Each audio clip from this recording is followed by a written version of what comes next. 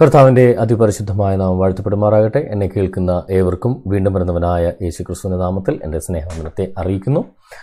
ഇന്നത്തെ നമ്മുടെ പ്രോഗ്രാം നമ്മൾ നേരത്തെ പറഞ്ഞിരുന്നത് പോലെ ഖുറാൻ ഒരു ദൈവിക ഗ്രന്ഥമോ എന്ന ഒരു ടോപ്പിക്കിനെ അടിസ്ഥാനമാക്കിയാണ്. ഇത് യൂട്യൂബിൽ കാണുന്ന എല്ലാവരും പ്രത്യേകം ശ്രദ്ധയിൽ വെക്കേണ്ട ഒരു കാര്യം ഇതൊരു ഫേസ്ബുക്ക് ലൈവ് പ്രോഗ്രാമാണ് അപ്പോൾ ആ ഒരു മാനസികാവസ്ഥയിൽ വേണം ഇതിനെ കാണാൻ.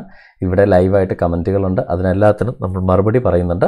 അതുകൊണ്ടാണ് ചിലപ്പോഴൊക്കെ ഇച്ചിരി ഡിലേ ലോങ് ആവുന്നത് വീഡിയോസ് ഓക്കെ ഈ ഇന്നത്തെ ഈ ഒരു വീഡിയോയുടെ ഒരു ബാക്ക്ഗ്രൗണ്ട് എന്ന് പറഞ്ഞാൽ കഴിഞ്ഞ ദിവസങ്ങളിൽ ഞാൻ ചെയ്ത പ്രോഗ്രാമിന് സജീർ ബാബു എന്ന് പറയുന്ന ഒരു സഹോദരൻ ഒരു കാര്യം ചെയ്തു. അദ്ദേഹം എന്റെ വീഡിയോ എന്റെ ഒരു കഴിഞ്ഞൊരു വീഡിയോയുടെ താഴെ ഈ നിങ്ങളിവിടെ എന്റെ വലതുഭാഗത്ത് കാണുന്ന ഈ പോസ്റ്റർ ഖുറാൻ ദൈവിക ഗ്രന്ഥമാണെന്നുള്ളതിന് എന്താണ് തെളിവ് എന്നതിനെക്കുറിച്ച് നിച്ച് ഓഫ് ട്രൂത്ത് പബ്ലിഷ് ചെയ്ത ഒരു പോസ്റ്റർ ആ സഹോദരൻ കൊണ്ടുവന്ന് എന്റെ അവിടെ പേസ്റ്റ് ചെയ്തു. അപ്പോൾ എനിക്ക് എന്റെ വീഡിയോയിൽ കൊണ്ടുവന്നിട്ട ഒരു പോസ്റ്ററിന് അതിൽ പറയുന്ന കാര്യകാരണങ്ങൾക്ക് ഒരു മറുപടി കൊടുക്കുന്നത് എന്റെ ഒരു ബാധ്യതയായതുകൊണ്ടാണ്. നിച്ച് ഓഫ് ട്രൂത്തിന്റെ ആ അവകാശവാദങ്ങളെ ഞാനൊന്ന് പരിശോധിക്കുന്നത് അല്ലാതെ നിച്ച് ഓഫ് ട്രൂത്ത് പബ്ലിഷ് ചെയ്യുന്ന എല്ലാ പോസ്റ്ററുകൾക്കും മറുപടി കൊടുക്കുക എന്റെ ജോലിയല്ല. എന്നാൽ എന്റെ വീഡിയോയിൽ കൊണ്ടുവന്ന സജീർ ബാബു എന്ന് പറയുന്ന വ്യക്തി ഇത് കൊണ്ടുവന്ന് പോസ്റ്റ് ചെയ്തതുകൊണ്ടാണ് ഇതിന് ഞാനിപ്പോൾ മറുപടി കൊടുക്കുന്നത് ഇത് ഏതെങ്കിലും മതവിഭാഗത്തെ വ്രണപ്പെടുത്തുവാനുള്ളതല്ല. എന്റെ വീഡിയോയിൽ അദ്ദേഹം കൊണ്ടുവന്ന് ഒട്ടിച്ചതിന് കൃത്യമായി ഒന്ന് അനലൈസ് ചെയ്യുന്നു. ഈ പറയുന്നതിനകത്ത് എന്തെങ്കിലും കാരണമുണ്ടോ? ഇതിന്റെ പാർട്ട് വൺ ആണ്. ഇതിന്റെ പന്ത്രണ്ട് കാര്യങ്ങളാണ് ഖുറാൻ ദൈവിക ഗ്രന്ഥമാണെന്നുള്ളതിന് തെളിവ് ചോദിച്ച് പറഞ്ഞിരിക്കുന്നത്. പന്ത്രണ്ട് തെളിവുകളാണ്. അതിൽ ആദ്യത്തെ ആറ് തെളിവുകളാണ് നമ്മൾ ഇന്ന് എടുക്കുന്നത്. അപ്പോൾ നിച്ച് ഓഫ് ട്രൂത്തിന്റെ അവകാശവാദങ്ങളിലേക്ക് നമുക്ക് കടക്കാം. ഖുറാൻ ദൈവിക ഗ്രന്ഥമാണെന്നുള്ളതിന് എന്താണ് തെളിവ്? അങ്ങനെ പന്ത്രണ്ട് തെളിവുകൾ അവർ തരുന്നു. അതിൽ ഓരോ തെളിവുകളും നമ്മൾക്ക് എടുക്കാം. ഇന്നത്തെ സെഷൻ ആറ് തെളിവുകളാണ് നമ്മൾ അനലൈസ് ചെയ്യുന്നത്. ആ ആറ് തെളിവുകൾ നമുക്കൊന്നൊന്നായിട്ട് വിശദമായിട്ട് പരിശോധിക്കാം.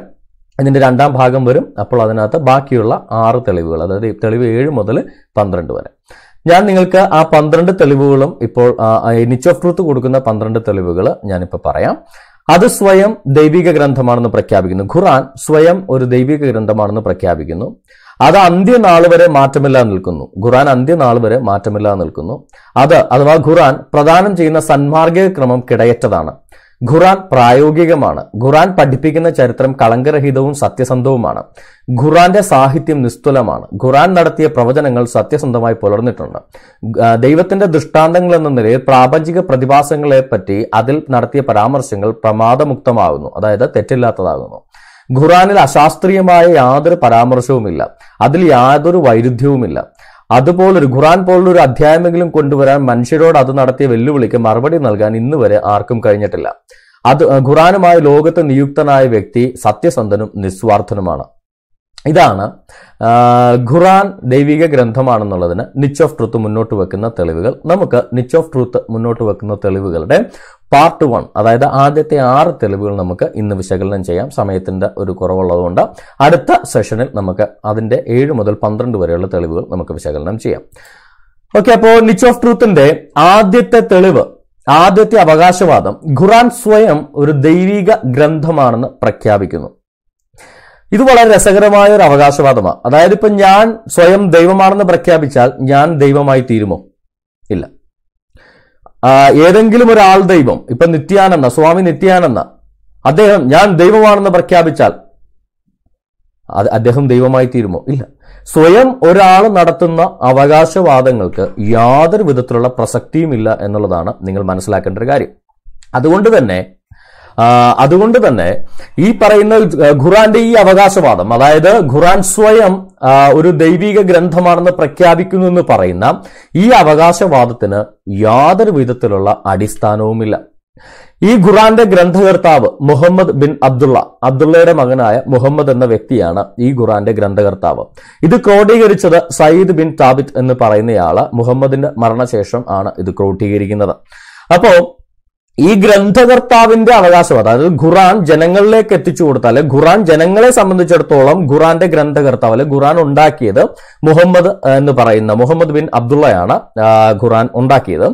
ആ മുഹമ്മദ് ബിൻ അബ്ദുള്ളയുടെ അവകാശവാദം ഗ്രന്ഥകർത്താവിന്റെ അവകാശവാദം ഈ ഗ്രന്ഥത്തിലെ കാര്യങ്ങൾ അല്ലാഹു എന്നൊരു ദൈവം പറഞ്ഞതാണെന്ന്. അല്ലാഹു പറഞ്ഞു എന്നല്ല താൻ മലക്കാണെന്ന് സ്വയം അവകാശപ്പെട്ട ഏതോ ഒരാൾ പറഞ്ഞു ഇത് അല്ലാഹു തന്നതാണെന്ന് പറഞ്ഞുകൊണ്ട് കൊടുത്തതാണ് എന്ന് ഗ്രന്ഥകർത്ത ആവശ്യപ്പെടുന്നു നിങ്ങൾക്ക് എന്തെങ്കിലും മനസ്സിലായോ? ഇല്ല. എന്തുകൊണ്ടാണ് മനസ്സിലാക്കാൻ നല്ല ബുദ്ധിമുട്ടാണ് അത്രത്തോളം ഒരു അൺസ്ട്രക്ചേർഡും അൺറിലയബിളുമാണ് ഖുറാൻ എന്ന് പറഞ്ഞത്. അതായത് ഗ്രന്ഥകർത്താവ് ഇപ്പം ഞാനൊരു പുസ്തകം എഴുതിയിട്ട് ഞാൻ അവകാശപ്പെടുക. ഈ പുസ്തകത്തിൽ പറയുന്ന കാര്യങ്ങൾ ദൈവം പറഞ്ഞതാണെന്ന് ദൈവം പറഞ്ഞു എന്നല്ല ദൈവം പറഞ്ഞതാണെന്ന് ഒരാൾ എന്നോട് പറഞ്ഞു. അയാൾ സ്വയം അവകാശപ്പെടുന്നു അതിയ അദ്ദേഹം ഒരു മലക്കാണെന്ന് കാര്യം അദ്ദേഹം മലക്കാണെന്ന് വേറെ ആർക്കും അറിയത്തില്ല. അദ്ദേഹം മലക്കാണെന്നുള്ളതിന് യാതൊരു തെളിവുമില്ല അദ്ദേഹം അവകാശപ്പെടുന്നു അദ്ദേഹം ഒരു മലക്കാണെന്ന് അങ്ങനെ സ്വയം പ്രഖ്യാപിത ഒരു മലക്ക് സ്വയം അവകാശ സ്വയമായിട്ട് താൻ മലക്കാണ് എന്ന് പ്രഖ്യാപിക്ക സ്വയം പ്രഖ്യാപിച്ച ഒരു വ്യക്തി മുഹമ്മദ് എന്ന് പറയുന്ന ആൾക്ക് പറഞ്ഞു കൊടുത്തു ഇത് അള്ളാഹു പറഞ്ഞതാണെന്ന് പറഞ്ഞു കൊടുത്തു. അതായത് തേർഡ് പാർട്ടി അല്ലെങ്കിൽ ഒരു ഫോർത്ത് ഹാൻഡ് ഇൻഫർമേഷൻ അതാണ് ഖുറാന്റെ അവകാശം. ആ ഫോർത്ത് ഹാൻഡ് ഇൻഫർമേഷനകത്താണ് അത് അവകാശപ്പെടുന്നത് ഇത് ദൈവിക ഗ്രന്ഥമാണെന്ന് പ്രഖ്യാപിക്കുന്നത് അപ്പോൾ ആ അവകാശവാദത്തിന്റെ സുസ്ഥിരത എത്രത്തോളം ഉണ്ടെന്ന് പ്രേക്ഷകർ തന്നെ ചിന്തിച്ചു നോക്കുക. ഏതെങ്കിലും ഒരു ഗ്രന്ഥത്തിൽ ഇത് ദൈവിക ഗ്രന്ഥമാണെന്ന് പറഞ്ഞാൽ ആ ഗ്രന്ഥം ദൈവിക ഗ്രന്ഥമാകുമോ? അങ്ങനെയാണെങ്കിൽ മുസ്ലിങ്ങൾക്ക് ഒട്ടനവധി ദൈവിക ഗ്രന്ഥങ്ങൾ ഉണ്ടാകേണ്ടി വരും. കാര്യം ഇപ്പൊ ഭഗവത്ഗീത ദൈവം കൊടുത്താന്ന് പറഞ്ഞ കാര്യം കൃഷ്ണൻ ഭഗവാൻ കൃഷ്ണൻ ഈ പറയുന്ന വിഷ്ണു തന്നെയാണെന്നാണ് ഹിന്ദുക്കൾ വിശ്വസിക്കുന്നത് അപ്പോ ഭഗവാൻ കൃഷ്ണന്റെ ഭഗവത്ഗീത ദൈവത്തിന്റെ ഗ്രന്ഥമാണെന്നാണ് അവർ പറയുന്നത് അപ്പൊ പിന്നെ അത് നിങ്ങൾ വിശ്വസിക്കുമോ? ഇല്ല. കൃഷ്ണൻ ദൈവമാണെന്ന് കൃഷ്ണൻ സ്വയം അവകാശപ്പെടും അല്ലെ കൃഷ്ണൻ വിഷ്ണുവിന്റെ അവതാരമാണെന്ന് ഹിന്ദുക്കൾ മുഴുവൻ വിശ്വസിക്കുന്നു. കൃഷ്ണനും പറയുന്നു കൃഷ്ണൻ വിഷ്ണുവിന്റെ അവതാരമാണെന്ന്. അപ്പൊ പിന്നെ ആ ദൈവത്തിന്റെ അവതാരമാണ് കൃഷ്ണൻ എന്നുള്ളതിന് മുസ്ലിങ്ങൾ ഒരിക്കലും ഡിനൈ ചെയ്യേണ്ട കാര്യമില്ലല്ലോ. ഒരാൾ സ്വയം അവകാശപ്പെട്ടാൽ അത് വിശ്വസനീയമാണെന്നാണ് ഇസ്ലാമിന്റെ അടിസ്ഥാന പ്രമാണം. ഖുറാൻ സ്വയം അവകാശപ്പെട്ടു. ഇപ്പൊ നിച്ച് ഓഫ് ട്രൂത്തിന്റെ സ്റ്റേറ്റ്മെന്റ് തന്നെ നിങ്ങൾ കണ്ടില്ലേ? ഖുറാൻ സ്വയം ദൈവിക ഗ്രന്ഥമാണെന്ന് പ്രഖ്യാപിച്ചു. അതുകൊണ്ട് അത് ദൈവിക ഗ്രന്ഥമാണ്. അങ്ങനെയെങ്കിൽ ഒരാൾ സ്വയം ദൈവമാണെന്ന് പ്രഖ്യാപിച്ചാൽ അയാൾ ദൈവമാവും. ഒരു പുസ്തകം സ്വയം ഇത് ദൈവിക ഗ്രന്ഥമാണെന്ന് പ്രഖ്യാപിച്ചാൽ അത് ദൈവിക ഗ്രന്ഥമാവുമെങ്കിൽ ഇന്നത്തെ ആൾ ദൈവങ്ങളെല്ലാം ഒന്നാം തരം ദൈവമാണ്. അതായത് ഇന്നത്തെ നമ്മളുടെ മുന്നിൽ ജനിച്ച് ജീവിച്ച് മരിച്ചു വീണ ആൾ ദൈവങ്ങളൊക്കെ ദൈവമാണെങ്കിൽ ഖുറാൻ ദൈവിക ഗ്രന്ഥമാവും. അമൃതാനന്ദമായി ദൈവമാണെങ്കിൽ ഖുറാൻ ദൈവിക ഗ്രന്ഥമാവും.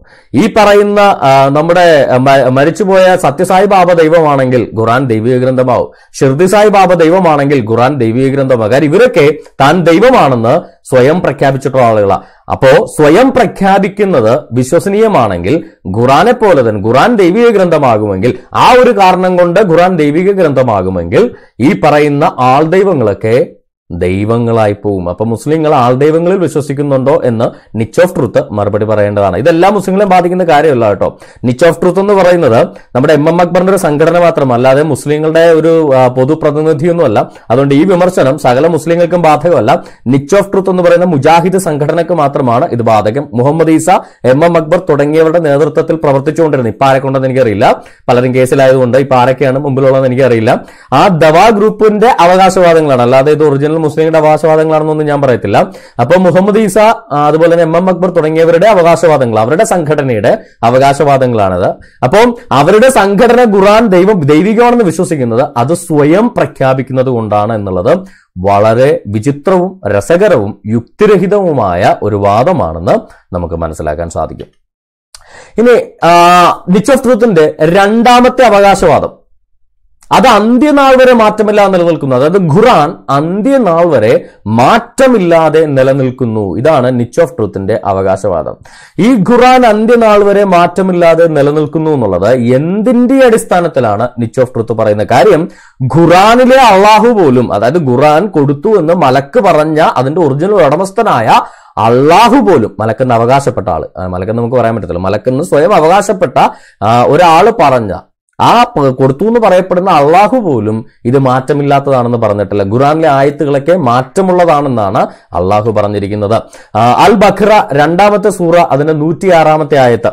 വല്ല ആയത്തും നാം ദുർബലപ്പെടുത്തുകയോ വല്ല ആയത്തും ഞങ്ങൾ അതായത് ഇതിനകത്ത് അള്ളാഹു ആണെന്ന് പറയപ്പെടുന്നു വല്ല ആയത്തും അള്ളാഹു ദുർബലപ്പെടുത്തുകയോ വിസ്മരിപ്പിക്കുകയോ ചെയ്യുകയാണെങ്കിൽ പകരം അതിനേക്കാൾ ഉത്തമമായതോ അതിന് തുല്യമായതോ നാം കൊണ്ടുവരുന്നതാണ്. നിനക്കറിഞ്ഞുകൂടെ? എല്ലാ എല്ലാ അള്ളാഹു എല്ലാ കാര്യത്തിനും കഴിവുള്ളവനാണെന്ന്. അതായത് അല്ലാഹു ഇവിടെ പ്രഖ്യാപിക്കുന്ന കാര്യം ഈ ഖുറാനിൽ അവകാശപ്പെടുന്ന പ്രകാരം അള്ളാഹു എന്ന് പറയുന്ന അറേബ്യൻ ദൈവം ഇവിടെ പ്രഖ്യാപിക്കുകയാണ്. ഞാൻ ഏതെങ്കിലും ഒരു ആയത്ത് ദുർബലപ്പെടുത്തുകയോ വിസ്മരിപ്പിക്കുകയോ ചെയ്യുകയാണെങ്കിൽ പകരം പുതിയ ആയത്ത് കൊണ്ടുവരും. അതായത് ഖുറാൻ ഒരിക്കലും മാറ്റമില്ലാതെ നിലനിൽക്കുന്ന പുസ്തകമല്ല. ഖുറാന്റെ അടിസ്ഥാന പ്രമാണം തന്നെ അല്ലാഹു പഠിപ്പിക്കുന്നത് തന്നെ ഇത് മാറ്റമുള്ളതാണ്. ഇത് എപ്പോ വേണമെങ്കിലും ഇതിലെ ആയത്തുകൾ എനിക്ക് ഇഷ്ടമുള്ളപ്പോൾ എനിക്ക് താല്പര്യമുള്ളപ്പോൾ ഞാനത് ദുർബലപ്പെടുത്താം. ഞാനത് വിസ്മരിപ്പിക്കാം. മറം ഞാനത് മറന്ന് നിങ്ങളെ നിങ്ങളുടെ ഓർമ്മയിൽ നിന്ന് എടുത്ത് ഞാൻ മാറ്റും. പകരം ഞാൻ അതിനേക്കാൾ ഉത്തമമായതോ അതിന് തുല്യമായതോ ആയുള്ള ആയത്ത് ഞാൻ കൊണ്ടുവരും. അതായത് മാറ്റം വരുന്ന ഖുറാനാണ് അപ്പോൾ ലിച്ച് ഓഫ് ട്രൂത്ത് എന്തിന്റെ അടിസ്ഥാനത്തിലാണ് ഖുറാൻ അന്ത്യനാൾ വരെ മാറ്റമില്ലാതെ നിലനിൽക്കുന്നു എന്ന് പറയുന്നത് എന്ന് എനിക്ക് യാതൊരു വിധത്തിലും മനസ്സിലാവുന്നില്ല ഇത് ഒരു വാക്യത്തിൽ മാത്രമല്ല ആ, പതിനാറാമത്തെ സൂറ അൽ നഹലിന്റെ നൂറ്റി ഒന്നാമത്തെ ആയത്ത് എടുത്തു കഴിഞ്ഞാൽ ഒരു വേദവാക്യത്തിന്റെ സ്ഥാനത്ത് മറ്റൊരു വേദവാക്യം നാം പകരം വെച്ചാൽ അല്ലാഹു ആകട്ടെ താൻ അവതരിപ്പിക്കുന്നതിനെ പറ്റി നല്ലവണ്ണം അറിയുന്നവനാണ് താൻ. അവർ പറയും അതായത് മുസ്ലിക്കുകൾ ബഹുജാതികൾ പറയും നീ കെട്ടിച്ചമച്ച് പറയുന്നവനാ മാത്രമാകുന്നു. അതായത് മുഹമ്മദ് കെട്ടിച്ചമച്ച് പറയും. അതായത് മുഹമ്മദ് ഇന്നലെ പറഞ്ഞ ആയത്തിന് വിരുദ്ധമായിട്ട് നാളെ ഒരു ആയത്ത് മുഹമ്മദ് അവതരിപ്പിച്ചാൽ അല്ലെ മുഹമ്മദ് ജനങ്ങളോട് പറഞ്ഞാൽ ഇപ്പൊ നമ്മളാണെങ്കിലും ചോദിക്കത്തില്ലേ?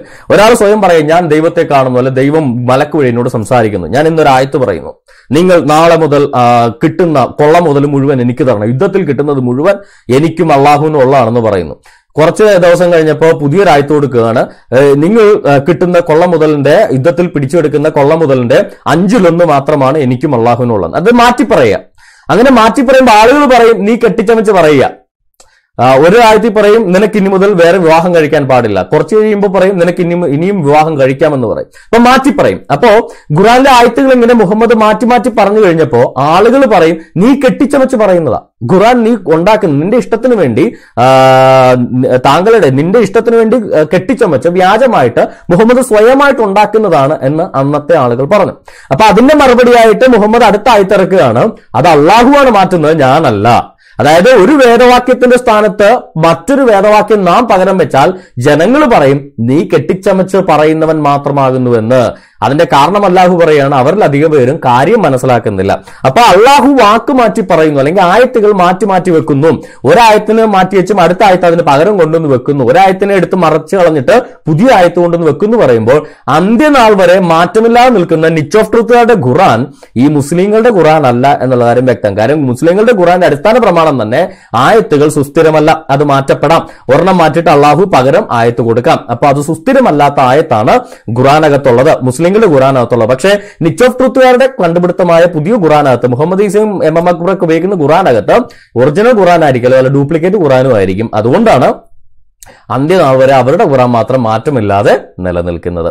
അപ്പോ ഇവരുടെ ഈ ഒരു ലോജിക് അന്ത്യനാൾ വരെ മാറ്റമില്ലാതെ നിലനിൽക്കുന്നതാണ് ഖുറാൻ എന്നുള്ളത് ഖുറാനകത്തു നിന്ന് തന്നെ വ്യാജമാണെന്ന് തെളിയുന്നു. ഇവരുടെ അടുത്തൊരു അവകാശവാദം.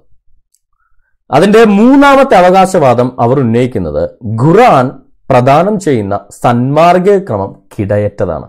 അതായത് ഖുറാൻ പ്രദാനം ചെയ്യുന്ന സന്മാർഗിക ക്രമം യാതൊരു വിധത്തിലുള്ള കുറവുകളും ഇല്ലാത്തതാണ് കിടയറ്റതാണ്. ക്ഷമിക്കണം. ഒരു കുറവും ഇല്ലാത്തതാണ് ഖുറാൻ മുന്നോട്ട് വെക്കുന്ന സന്മാർഗിക ക്രമം. നമുക്കൊന്ന് പരിശോധിക്കാം. ഖുറാൻ മുന്നോട്ട് വെക്കുന്ന സന്മാർഗിക ക്രമം കുറവുകൾ ഇല്ലാത്തതാണെന്ന് നിച്ച് ഓഫ് ട്രൂത്ത് പറയുമ്പോൾ നിച്ച് ഓഫ് ട്രൂത്ത് എന്ന് പറയുന്ന സംഘടനയുടെ ഒരു ആശയപരമായിട്ടുള്ള അവരുടെ സ്റ്റാൻഡ് എന്താണ്? നമുക്ക് ഖുറാനകത്ത് നിന്ന് പരിശോധിക്കാം. അൻ നിസ നാലാമത്തെ സൂറ എൺപത്തി ഒമ്പതാമത്തെ ആയത്ത് ഖുറാനകത്ത് പറയുന്ന ഒരു സന്മാർഗിക ക്രമമാണ്. ഇത് എത്രത്തോളം കിടയറ്റതാണെന്ന് പ്രേക്ഷകർ തന്നെ പരിശോധിക്കുക. അൽ നിസ നാലാമത്തെ സൂറ എൺപത്തി ഒമ്പതാമത്തെ ആയത്ത്.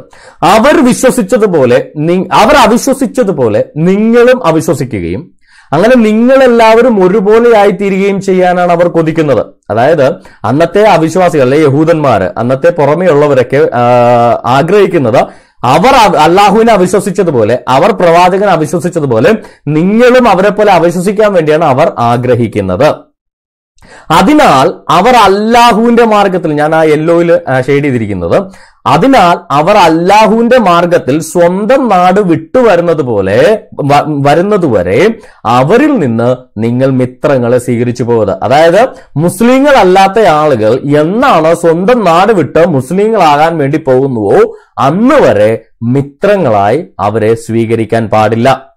എന്നാൽ അവർ പിന്തിരിഞ്ഞു കളയുകയാണെങ്കിൽ അവർ ഇസ്ലാമിൽ വന്നിട്ട് തിരിച്ചു പോവുകയാണെങ്കിൽ അവരെ പിടികൂടുകയും അവരെ കണ്ടുമുട്ടിയെടുത്ത് വെച്ച് നിങ്ങൾ അവരെ കുലപ്പെടുത്തുകയും ചെയ്യുക. അവരിൽ നിന്ന് യാതൊരു മിത്രത്തെയും സഹായിയെയും നിങ്ങൾ സ്വീകരിച്ചു പോകരുത്. ഇസ്ലാം മതം ഉപേക്ഷിക്കുന്നവരെ കണ്ടുപിടിക്കുന്ന സ്ഥലത്ത് വെച്ച് തന്നെ അവരെ കൊന്നുകളയുക മുഹമ്മദ് ഈസയ്ക്ക് എന്തുകൊണ്ടാണ് ഇസ്ലാം മതം ഉപേക്ഷിക്കാത്തതെന്ന് നിങ്ങൾക്കിപ്പോൾ മനസ്സിലായല്ലോ. ഞാനായിട്ട് പറയേണ്ട കാര്യമില്ല. ഇതെന്തുവരും ഒരു സന്മാർഗിക ക്രമമാണ്. അതായത് ഒരു മതത്തിൽ വിശ്വസിക്കേണ്ട സ്വാതന്ത്ര്യം ഏതൊരു പൗരന്റെയും അടിസ്ഥാനപരമായ സ്വാതന്ത്ര്യമാണ്. അവൻ ഏത് മതത്തിൽ വിശ്വസിക്കണം ഏത് മതത്തിൽ വിശ്വസിക്കേണ്ട എന്നുള്ളത്. ഏത് ദൈവത്തിൽ വിശ്വസിക്കണം ഏത് ദൈവത്തിൽ വിശ്വസിക്കേണ്ട എന്നുള്ളത് ഇന്ത്യൻ ഭരണഘടന അവകാശമായി തരുന്ന അല്ലെ ലോകത്തിലെ പരിഷ്കൃത സമൂഹം ഒരു വ്യക്തിക്ക് ഒരു പൗരന് അവകാശമായി കൊടുത്തിരിക്കുന്ന ഒരു ബേസിക് ഫണ്ടമെന്റൽ ഹ്യൂമൻ റൈറ്റ് ആണ്. ഒരു അടിസ്ഥാനപരമായ മനുഷ്യാവകാശമാണ് ഏത് മതത്തിലും ഏത് ദൈവത്തിലും ഒരാൾ വിശ്വസിക്കണം എന്നുള്ളത്. എന്നാൽ ഖുറാന്റെ സന്മാർഗീയ ക്രമം അനുസരിച്ച് ഇസ്ലാം മതത്തിൽ വന്ന ശേഷം ഒരാൾ തിരിച്ച് ഇസ്ലാം മതം ഉപേക്ഷിച്ചാൽ അവനെ കണ്ട സ്ഥലത്ത് വെച്ച് തന്നെ കൊന്നുകളയണമെന്ന്. ഒരു ഒരു യഥാർത്ഥ ഇസ്ലാം മത വിശ്വാസി അവനെ വീണ്ടും കണ്ടാൽ അവനെ അവിടെ വെച്ച് കൊന്നുകളയാൻ ഖുറാൻ ഒരു വിശ്വാസിയെ ഉദ്ബോധിപ്പിക്കുന്നു. ഇത് എന്ത് തരത്തിലുള്ള സന്മാർഗീയ ക്രമമാണെന്ന് ഇസ്ലാം മത നിച്ച് ഓഫ് ട്രൂത്തുകാർ തന്നെ അതിനെ വ്യാഖ്യാനിക്കണം. അപ്പൊ ഇത് ഇത്തരത്തിൽ ഖുറാൻ ഇസ്ലാം മതം വിട്ടുവരുന്നവരെ കൊന്നുകളയാൻ പറയുന്ന തരത്തിലുള്ള ആ അത്തരത്തിലുള്ള ഇൻസ്ട്രക്ഷനെ കിടയറ്റ സന്മാർഗിക ക്രമമാണെന്ന് വിശ്വസിക്കുന്ന നിച്ച് ഓഫ് ട്രൂത്തുകാരുടെ പല മുസ്ലിങ്ങളും വിശ്വസിക്കുന്നത് അത് അന്നത്തെ കാലത്തെ ഒരു പ്രത്യേക സാഹചര്യത്തിൽ കൊടുത്തൊരായത്താണ്. അല്ല ഇന്ന് ആ ആയത്തിന് യാതൊരു പ്രാധാന്യവുമില്ല. അത് വാലിഡ് അല്ല എന്നാണ് ഭൂരിഭാഗം സമാധാനകാംക്ഷികളായ മുസ്ലിങ്ങളും വിശ്വസിക്കുന്നത്. എന്നാൽ നിച്ച് ഓഫ് ട്രൂത്ത് പോലുള്ള സംഘടനകൾ വിശ്വസിക്കുന്നത് എന്താ?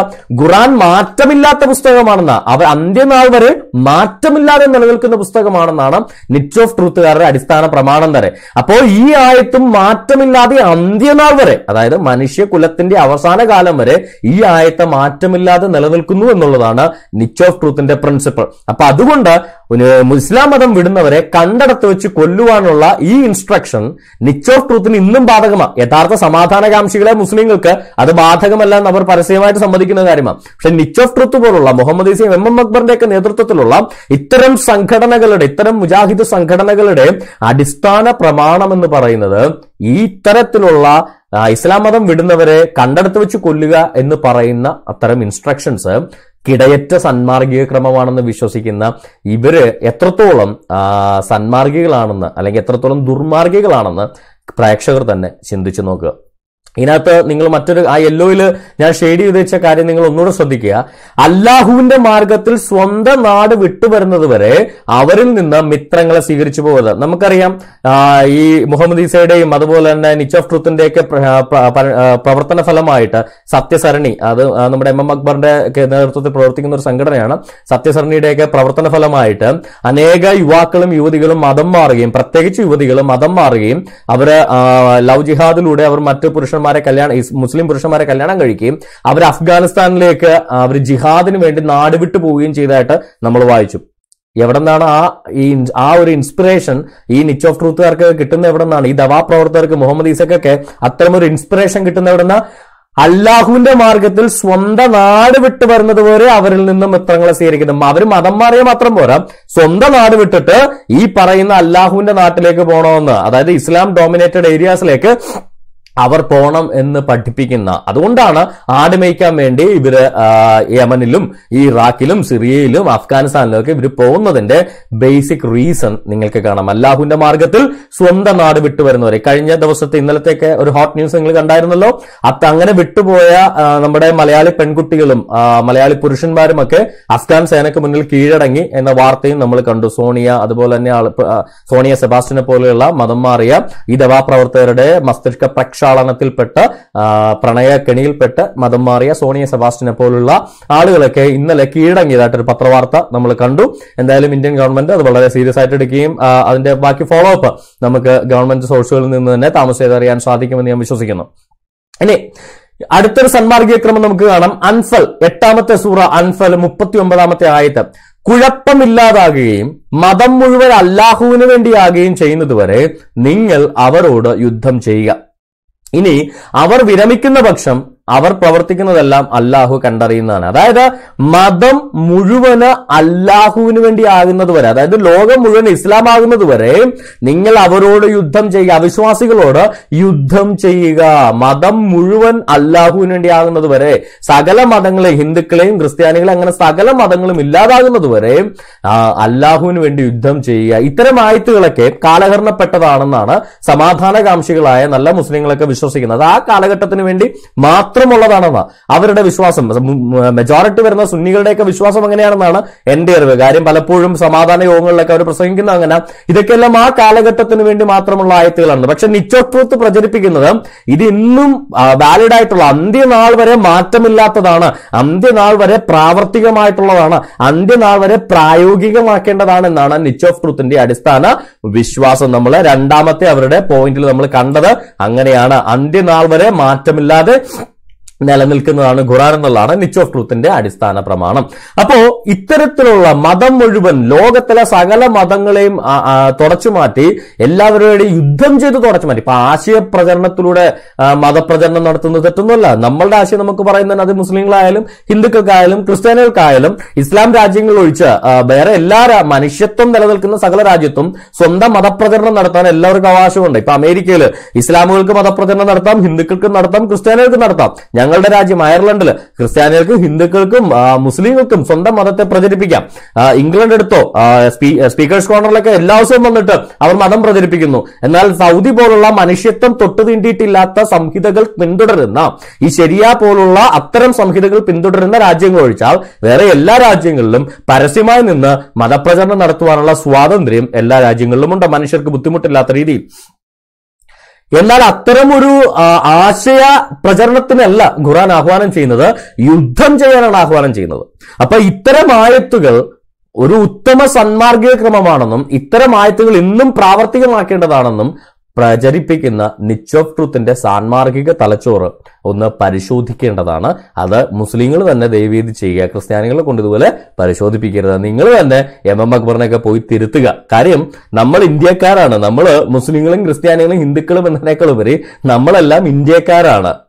അപ്പം ഒരു ഇന്ത്യൻ കോൺസ്റ്റിറ്റ്യൂഷൻ ഇന്ത്യൻ ഭരണഘടനയിൽ വിശ്വസിക്കുന്ന നമ്മൾ എല്ലാവരുടെയും പ്രൈമറി ഫോക്കസ് ഇന്ത്യൻ ഭരണഘടനയാണ്. അല്ലാതെ മതമെല്ലാം നമ്മുടെ ആത്മീയ കാര്യങ്ങൾ വ്യക്തിപരമാണ്. അത് ഒരിക്കലും ഒരു സമൂഹമായിട്ട് കൂട്ടിക്കുഴക്കേണ്ട കാര്യമല്ല.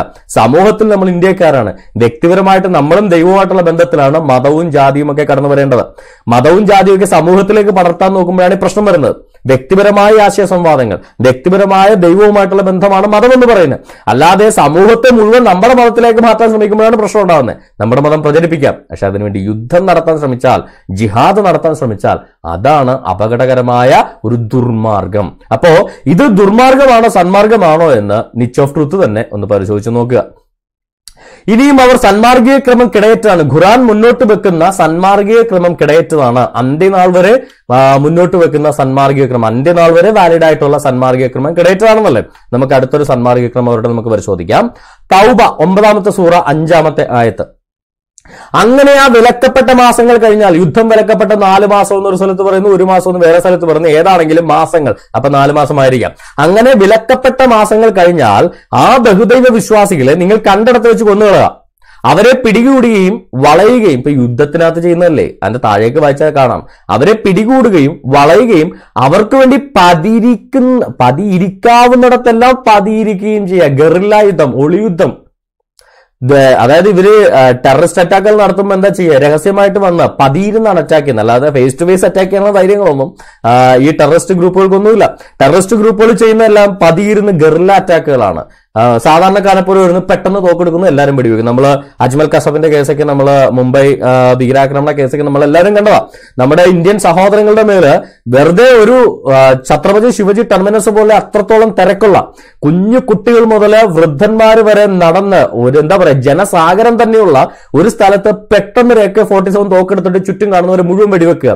Irrespective of the religion irrespective of the gender irrespective of the age ഒരു പ്രായത്തിന്റെയോ ഒരു മതത്തിന്റെയോ ഒന്നും നോക്കാതെ സാധാരണ ഇന്ത്യക്കാരെ കൊല്ലുക എന്നുള്ള ലക്ഷ്യത്തോടുകൂടെ ഈ പറയുന്ന മുസ്ലിം തീവ്രവാദികൾ മുസ്ലിം മതസ്ഥരായ തീവ്രവാദികൾ അജ്മൽ കസബിനെ പോലുള്ളവര് ചെയ്യുമ്പോൾ എന്താ നമുക്കവിടെ കാണുന്നത് പതിയിരിക്കാവുന്നിടത്തെല്ലാം പതിയിരിക്കുകയും ചെയ്യുക. അതായത് ഒളിയുദ്ധം നടത്താവുന്ന ഒളിഞ്ഞിരുന്ന അവരെ ചതിയിൽപ്പെടുത്താവുന്നിടത്തല്ല നിങ്ങൾ അങ്ങനെ ചെയ്യുക. അവരെ കണ്ടടത്ത് വെച്ച് കൊന്നുകളയുക അജ്മൽ കസബൊക്കെ അങ്ങനെയല്ലേ? ഇത് കണ്ടടത്ത് വെച്ച് അങ്ങ് കൊന്നുകളയുക അപ്പോ ഇത്തരത്തിലുള്ള കാര്യം അങ്ങനെ ഇന്ത്യക്കാർ ഇന്ത്യൻ മുസ്ലിംസ് ഒന്നും മുസ്ലിംസ് അല്ലെന്നാണ് ഈ തീവ്ര മുസ്ലിംസ് പറയുന്നത്. കാര്യം അവർ ഇതുപോലെ ഇന്ത്യൻ മുസ്ലിങ്ങളൊന്നും ഇതുവരെ ആടുമേക്കാൻ പോവുകയോ ഇന്ത്യൻ ഭരണഘടനക്കെതിരെ പ്രവർത്തിക്കുകയോ ഇന്ത്യക്കെതിരെ ഭീരപ്രവർത്തനം നടത്തുകയോ ചെയ്യാറില്ല. ഇന്ത്യൻ ഭരണഘടനയോട് കൂറ് പുലർത്തുന്നവരാണ് യഥാർത്ഥ ഇന്ത്യൻ മുസ്ലിമാൻ എന്ന് പറയുന്നത്. പക്ഷേ ഈ ഇത്തരം ഭീകര സംഘടനകളൊക്കെ പറയുന്ന ഇന്ത്യൻ മുസ്ലിമാൻ മുസ്ലിം അല്ലെന്നാ പറയുന്നത്. അവരൊക്കെ അവരൊക്കെല്ലാം കാഫറുകളാണെന്ന് പറയുന്നത്. കാര്യം അവർക്ക് ഇസ്ലാമിനേക്കാൾ വരുന്നത് ഇന്ത്യൻ ഭരണഘടന. അതുകൊണ്ട് അവരെല്ലാം കാഫറുകളാണെന്ന് പറയുന്ന ഇത്തരം ഭീകര സംഘടനകളെ പ്രൊമോട്ട് ചെയ്യുന്നവരാണോ? ഇതൊക്കെ സന്മാർഗക്രമാണോ ഇതെല്ലാം വാലിഡ് ആണ്. അന്ത്യനാൾ വരെ പ്രയാ- പ്രയോഗത്തിലാക്കേണ്ടതാണ് ഈ വാക്യങ്ങളെല്ലാം. ഇതെല്ലാം വാലിഡ് ആണെന്ന് പറയുന്ന നിച്ച് ഓഫ് ട്രൂത്തിന്റെ ഈ അവകാശവാദം ഈ പറയുന്ന ഖുറാനുമായിട്ട് എന്തെങ്കിലും ബന്ധമുണ്ട്. അപ്പൊ ഖുറാൻ പ്രദാനം ചെയ്യുന്ന സന്മാർഗക്രമം ഡെഫിനറ്റ്ലി കിടയറ്റതല്ല. അത് ആളുകളെ കൊല്ലുന്ന ഒരു സന്മാർഗീയ ക്രമമാണ്. അത് ആളുകളെ പതിയിരുന്ന് വഞ്ചിച്ച് ചതിച്ചു കൊല്ലുന്ന ഒരു സന്മാർഗീയ ക്രമമാണ്. അത്തരമൊരു സന്മാർഗീയ ക്രമം ഒരിക്കലും മുന്നോട്ട് വെക്കുന്ന പുസ്തകം അത്തരമൊരു ക്രമം മുന്നോട്ട് വെക്കുന്ന ഒരു പുസ്തകം മതം വിടുന്നവരെ കൊല്ലാൻ പറയുന്ന ഒരു പുസ്തകം സ്വന്തം മതം മുഴുവൻ എല്ലാവരും ഈ മുസ്ലാം മതം സ്വീകരിക്കുന്നത് വരെ ആ മതത്തിൽ ആകുന്നത് വരെ യുദ്ധം ചെയ്യാൻ പഠിപ്പിക്കുന്ന പുസ്തകം അത് കിടയറ്റ സന്മാർഗീയ ക്രമമാണെന്ന് പറയാൻ നിച്ച് ഓഫ് ട്രൂത്തിന് മാത്രമേ സാധിക്കുകയുള്ളൂ. മനുഷ്യരായി പറഞ്ഞ ബുദ്ധിയും ബോധമുള്ള ആർക്കും സാധിക്കത്തില്ല. ഇനി അടുത്തൊരു സന്മാർഗീയ ക്രമം നമുക്ക് നോക്കാം. അന്നിസ നാലിന്റെ ഇരുപത്തിനാല് നാലാമത്തെ സൂറ ഇരുപത്തിനാലാമത്തെ ആയത്ത്. മറ്റുള്ളവരുടെ വിവാഹബന്ധത്തിലിരിക്കുന്ന സ്ത്രീകളും നിങ്ങൾക്ക് നിഷിദ്ധമായിരിക്കുന്നു. നിങ്ങളുടെ കൈകൾ ഉടമപ്പെടുത്തിയവർ അതായത് അടിമസ്ഥികൾ ഒഴികെ. അതായത് ഈ ഒരു മുസ്ലിമിന് ലൈംഗിക ബന്ധത്തിൽ ഏർപ്പെടാൻ പോസിബിലിറ്റികൾ അല്ലെങ്കിൽ ലൈംഗിക ബന്ധത്തിൽ ഏർപ്പെടാൻ അനുവദനീയമായ സ്ത്രീകളുടെ ലിസ്റ്റ് പറയുമ്പോൾ മറ്റുള്ള ഏതെങ്കിലും പുരുഷനുമായിട്ട് വിവാഹ ബന്ധത്തിൽ ഏർപ്പെട്ടിരിക്കുന്ന സ്ത്രീകളെ അവർക്ക് വിലക്കപ്പെട്ടിരിക്കുന്നു. അതായത് ഏതെങ്കിലും ഒരു പുരുഷനുമായിട്ട് കല്യാണം കല്യാണം കഴിച്ച സ്ത്രീകളെ ഒരു മുസ്ലിമിന് ചെന്ന് ലൈംഗിക ബന്ധത്തിൽ ഏർപ്പെടാൻ പാടില്ല. അത് അവർക്ക് നിഷിദ്ധമാണ്. എന്നാൽ ഇസ്ലാമിക സന്മാർഗീയ ക്രമം അനുസരിച്ചിട്ട് ഇസ്ലാമിക അഡ്വൈസ് അനുസരിച്ചിട്ട് ഖുറാന്റെ പഠിപ്പിക്കൽ അനുസരിച്ചിട്ട് അടിമ സ്ത്രീകൾ ഒഴികെ അതായത് യുദ്ധത്തിൽ അടിമകളെ പിടിച്ചവർക്ക് അവർക്ക് ഭർത്താവ് ഉണ്ടെങ്കിലും കുഴപ്പമില്ല അവരുമായിട്ട് ലൈംഗിക ബന്ധത്തിൽ ഏർപ്പെടാമെന്ന് പറയുന്ന ഒരു വളരെ വലിയൊരു ദുരാചാരമാണ് ഇസ്ലാം മുന്നോട്ട് വെക്കുന്നത് ഖുറാൻ മുന്നോട്ട് വെക്കുന്നത്.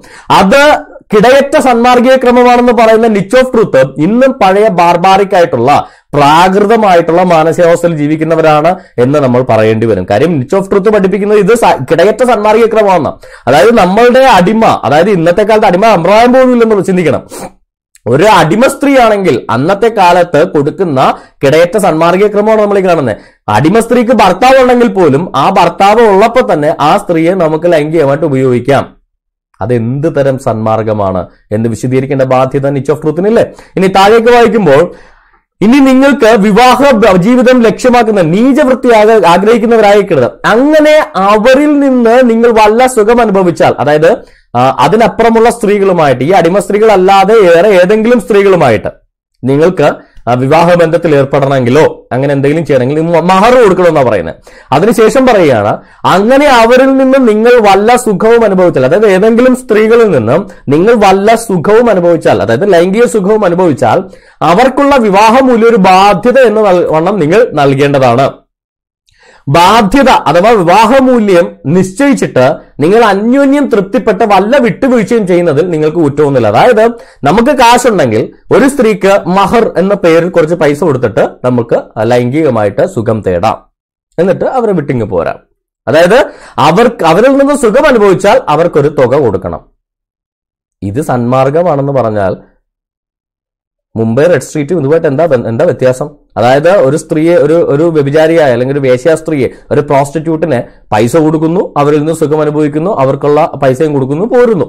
ഇതാണ് സാധാരണ ഒരു പ്രോസ്റ്റിറ്റ്യൂട്ടിനെ എടുക്കുക ചെയ്യുന്നത് അവരെ ഇഷ്ടപ്പെടുന്നു അവർ അവരുമായി ലൈംഗിക ബന്ധത്തിൽ ഏർപ്പെടുന്നു അവരിൽ നിന്ന് സുഖം അനുഭവിക്കുന്നു അവർക്കുള്ള ഒരു മൂല്യം കൊടുത്തിട്ട് പോരുന്നു അവർക്കൊരു തുക കൊടുത്തിട്ട് പോരുന്നു.